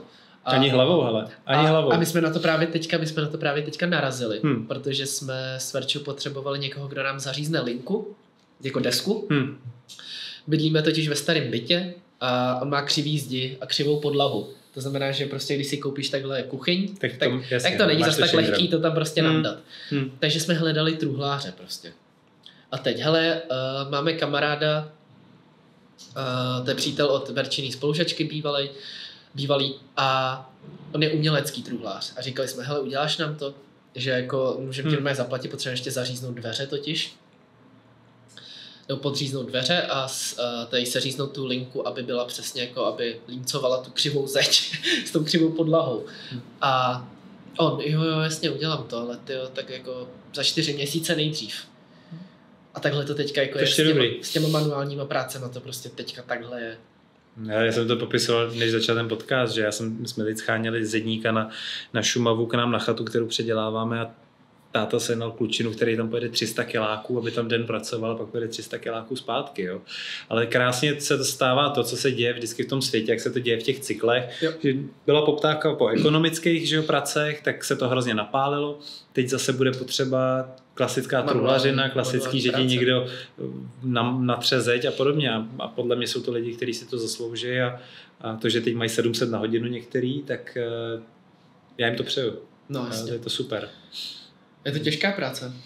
Je to práce totiž, ne, nepobíráš víš? benefity totiž. Je to práce, musíš to oddělat, jo, jakoby... Multisportku už pak nechceš ani vidět, když jsi celý den jo, na stavbě, jo, jo. Mně to vždycky přijde komický, když někdo se vysmívá těm Ukrajincům, co tamhle se smažejí na té D1 a kopou tam rukama nebo, nebo nějakým Romům, tak mně to jako vlastně přijde jako paradoxní v tom smyslu, že ty lidi mají u mě obrovský props, obrovský jako respekt, protože tady to jsou za mě ty práce, které jako jako nedokážu pochopit, jak někdo dokáže dlouhodobě dělat a fungovat a jako mít ještě na něco energie. Jo? Že, že vlastně díky bohu, že tady ty lidi máme, hmm. díky bohu, že, že tady jsou, že, že někdo je ochotný tohle dělat, protože v jistý moment ty lidi byli placený tak hrozně špatně. Ještě jim polovinu peněz za nějaký překupník, co jsem dovez. A tamhle já jsem seděl v Amexu a dělal jsem si tam v PowerPointu nějaký nesmyslné věci a měl jsem za to prostě plat, který by si oni zasloužili stokrát víc. Jo? Takže hmm mě tohle všechno tak nějak neslo takovou vděčnost trošku, že, hmm. že, že vůbec můžeme takovýhle práce mít a můžeme se mít tak dobře. Jo, to je, to je zase asi na jinou debatu. No. No, hele super, já nevím, jak dlouhý už to bude. Asi 16 hodin si myslím, plus minus. Řekli jsme si klasi takovou půl hodinku, si, že dáme a teď máme dvě, tři čtvrtě. No já jsem původně chtěl to mít stejně dlouhý jako předtím, což bylo nějakých 45 minut, ale myslím si, že to bude k těm dvou hodinám pomalu. uh, Ne, super. Hele, chtěl bys ještě něco přidat, jestli tě ještě něco napadá? Hele, já myslím, že toho padlo hodně. Já jsem moc rád, že, že, že jsi mě pozval. Děkuji, vážím si toho. to, uh, do tohohle výjimečného podcastu, kde vychází jedno za uherák. No, tak mě to hrozně baví. Já jsem si, mě vlastně vůbec baví se o těchto věcech bavit a tak jako nad tím filozofovat. Ale uh, díky moc za to a, a No teďka Nic tady dalšího mě nenapadá, nějak no jsem to převařil působí, mozek. Tady to působí jako strašně oficiálně, ale my vlastně jsme se o docela podobných věcech bavili právě i u toho stolu jako s tou svíčkovou. Hmm. Hmm. Akorát teďka je to s mikrofonem a s nějakou kamerou, ale jo, jo. to téma je asi jako docela stejný nakonec. Tohle je to moje téma ve smyslu jako osobního nějakého, nějakého rozvoje, trošku náhled do... Protože víš co, úžasný je moment, v lidském životě, kdy si uvědomí, že ten svět se chová podle toho, jak ty ho vnímáš. Že to mhm. není tak, že tady že je 7 miliard lidí, je tady nějaký objektivní svět, objektivní pravda, ty věci jsou takovýhle a tak prostě jsou. Ale že ty máš jinou realitu, já mám jinou realitu, ty máš jiné schopnosti, já mám jiné schopnosti a dává obrovský smysl, a teď se vracím k té otázce, té investice do sebe. Já si nemyslím nutně, že to musí být investice finanční nebo nějaký workshopu, mm-hmm. ale když člověk začne nad tím světem trošku uvažovat jako nad takovým simulátorem, který ho posouvá dál, učí ho o sobě, eh, zjišťuje ty svý limity a jak uvažuje nad tím světem, a zjistí, že vlastně ty myšlenky jsou jenom myšlenky, že to není, že to není nic víc, tak člověk najednou má obrovskou příležitost se posunout do nějaký vyšší úrovně vědomí, z který ten svět je mnohem hezčí, mnohem hravější a není tak dramatický a tak kritický, jak se tady všude zdá. Jo. No, ten svět je vlastně, ten život je vlastně skvělá věc a všechno je vlastně super, ale musím trošku si přeměnit tu svoji mysl, která je fakt zavirovaná tím, jak se tady, jak, jak k tomu přistupujeme a potom najednou ty věci začnou do sebe zapadat. Musíš Takže, přeladit, no. Hm? A to dává smysl. Do tohohle investovat, ať je to čas, ať je to nějaká píle, ať je to nějakých 21 dní nebo dva dny, jak jsi zmiňoval, jakoby, a potom postupně nesmít vynechat. V tomhle ohledu dává obrovský smysl se do sebe začít dívat a přestat ty vyníky vidět všude ve vnějšku a na všechno furt nadávat a to už mi přijde, že není cool. No jasně. Už tomu odzvonilo. Takže děkuju. Hele, já taky děkuju moc za pokec. A ještě nám prosím tě řekni, kde tě najdou lidi, protože... Tady, uh, Praha tady... 5 Klamovka. To neříkej, adresu neříkej. Jo, pardon. na Žižkově. Uh, kde tě lidi najdou, protože ty, jak už jsme zmiňovali na, na začátku, jo. ty tvoříš taky. Jo, jo, jo. Uh, takže co tvoří, jako, kde Hele. tě najdeme, řekni nám platformy, odkazy www. Hele, já jsem na Instagramu pod Centrem v proudu, to vlastně dáváme dohradu, dohromady s mýma kamarádama, a uh, tam jsou všechny kontakty, můžete se tam, na Spotify máme podcast, takových jako pár dílů, nějakých mých rozprav o těchto věcech. Uh, takže tam se tomuhle věnujeme a teď se tomu jako věnuju spíš okrajově. Takže pokud má někdo zájem třeba o nějakou přednášku no mentální coaching, mě to hrozně baví, jsem za to moc rád. Jenom teď jakoby k tomu už mám normálně full-time job, protože jsem zjistil, že být ten freelancer vlastně je docela velká výzva a že, že, že to rád mám spíš tak jako, do, jako k tomu všemu. Hmm. Víš, takže eh, věnuju se mentálnímu coachingu a nějakému osobnímu rozvoji a přednáškám v centru v proudu, takže tam si můžete najít na Instagramu a, a tam jsou všechny kontakty. Takže moc děkuji. Super. Tak jo. No a já to asi tady rovnou ukončím, ať to pak nemusím dotáčet doma. Já vám moc děkuji za pozornost, doufám, že vás to bavilo, a nebo vlastně co víc, doufám, že jste si z toho něco vzali. A my se snad brzo uvidíme v dalším videu, takže se mějte krásně a zatím. Ciao.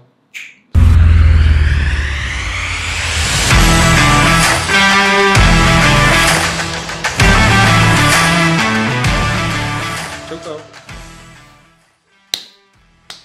Nice. Teď zjistíme, že, že zvuk Ne, to.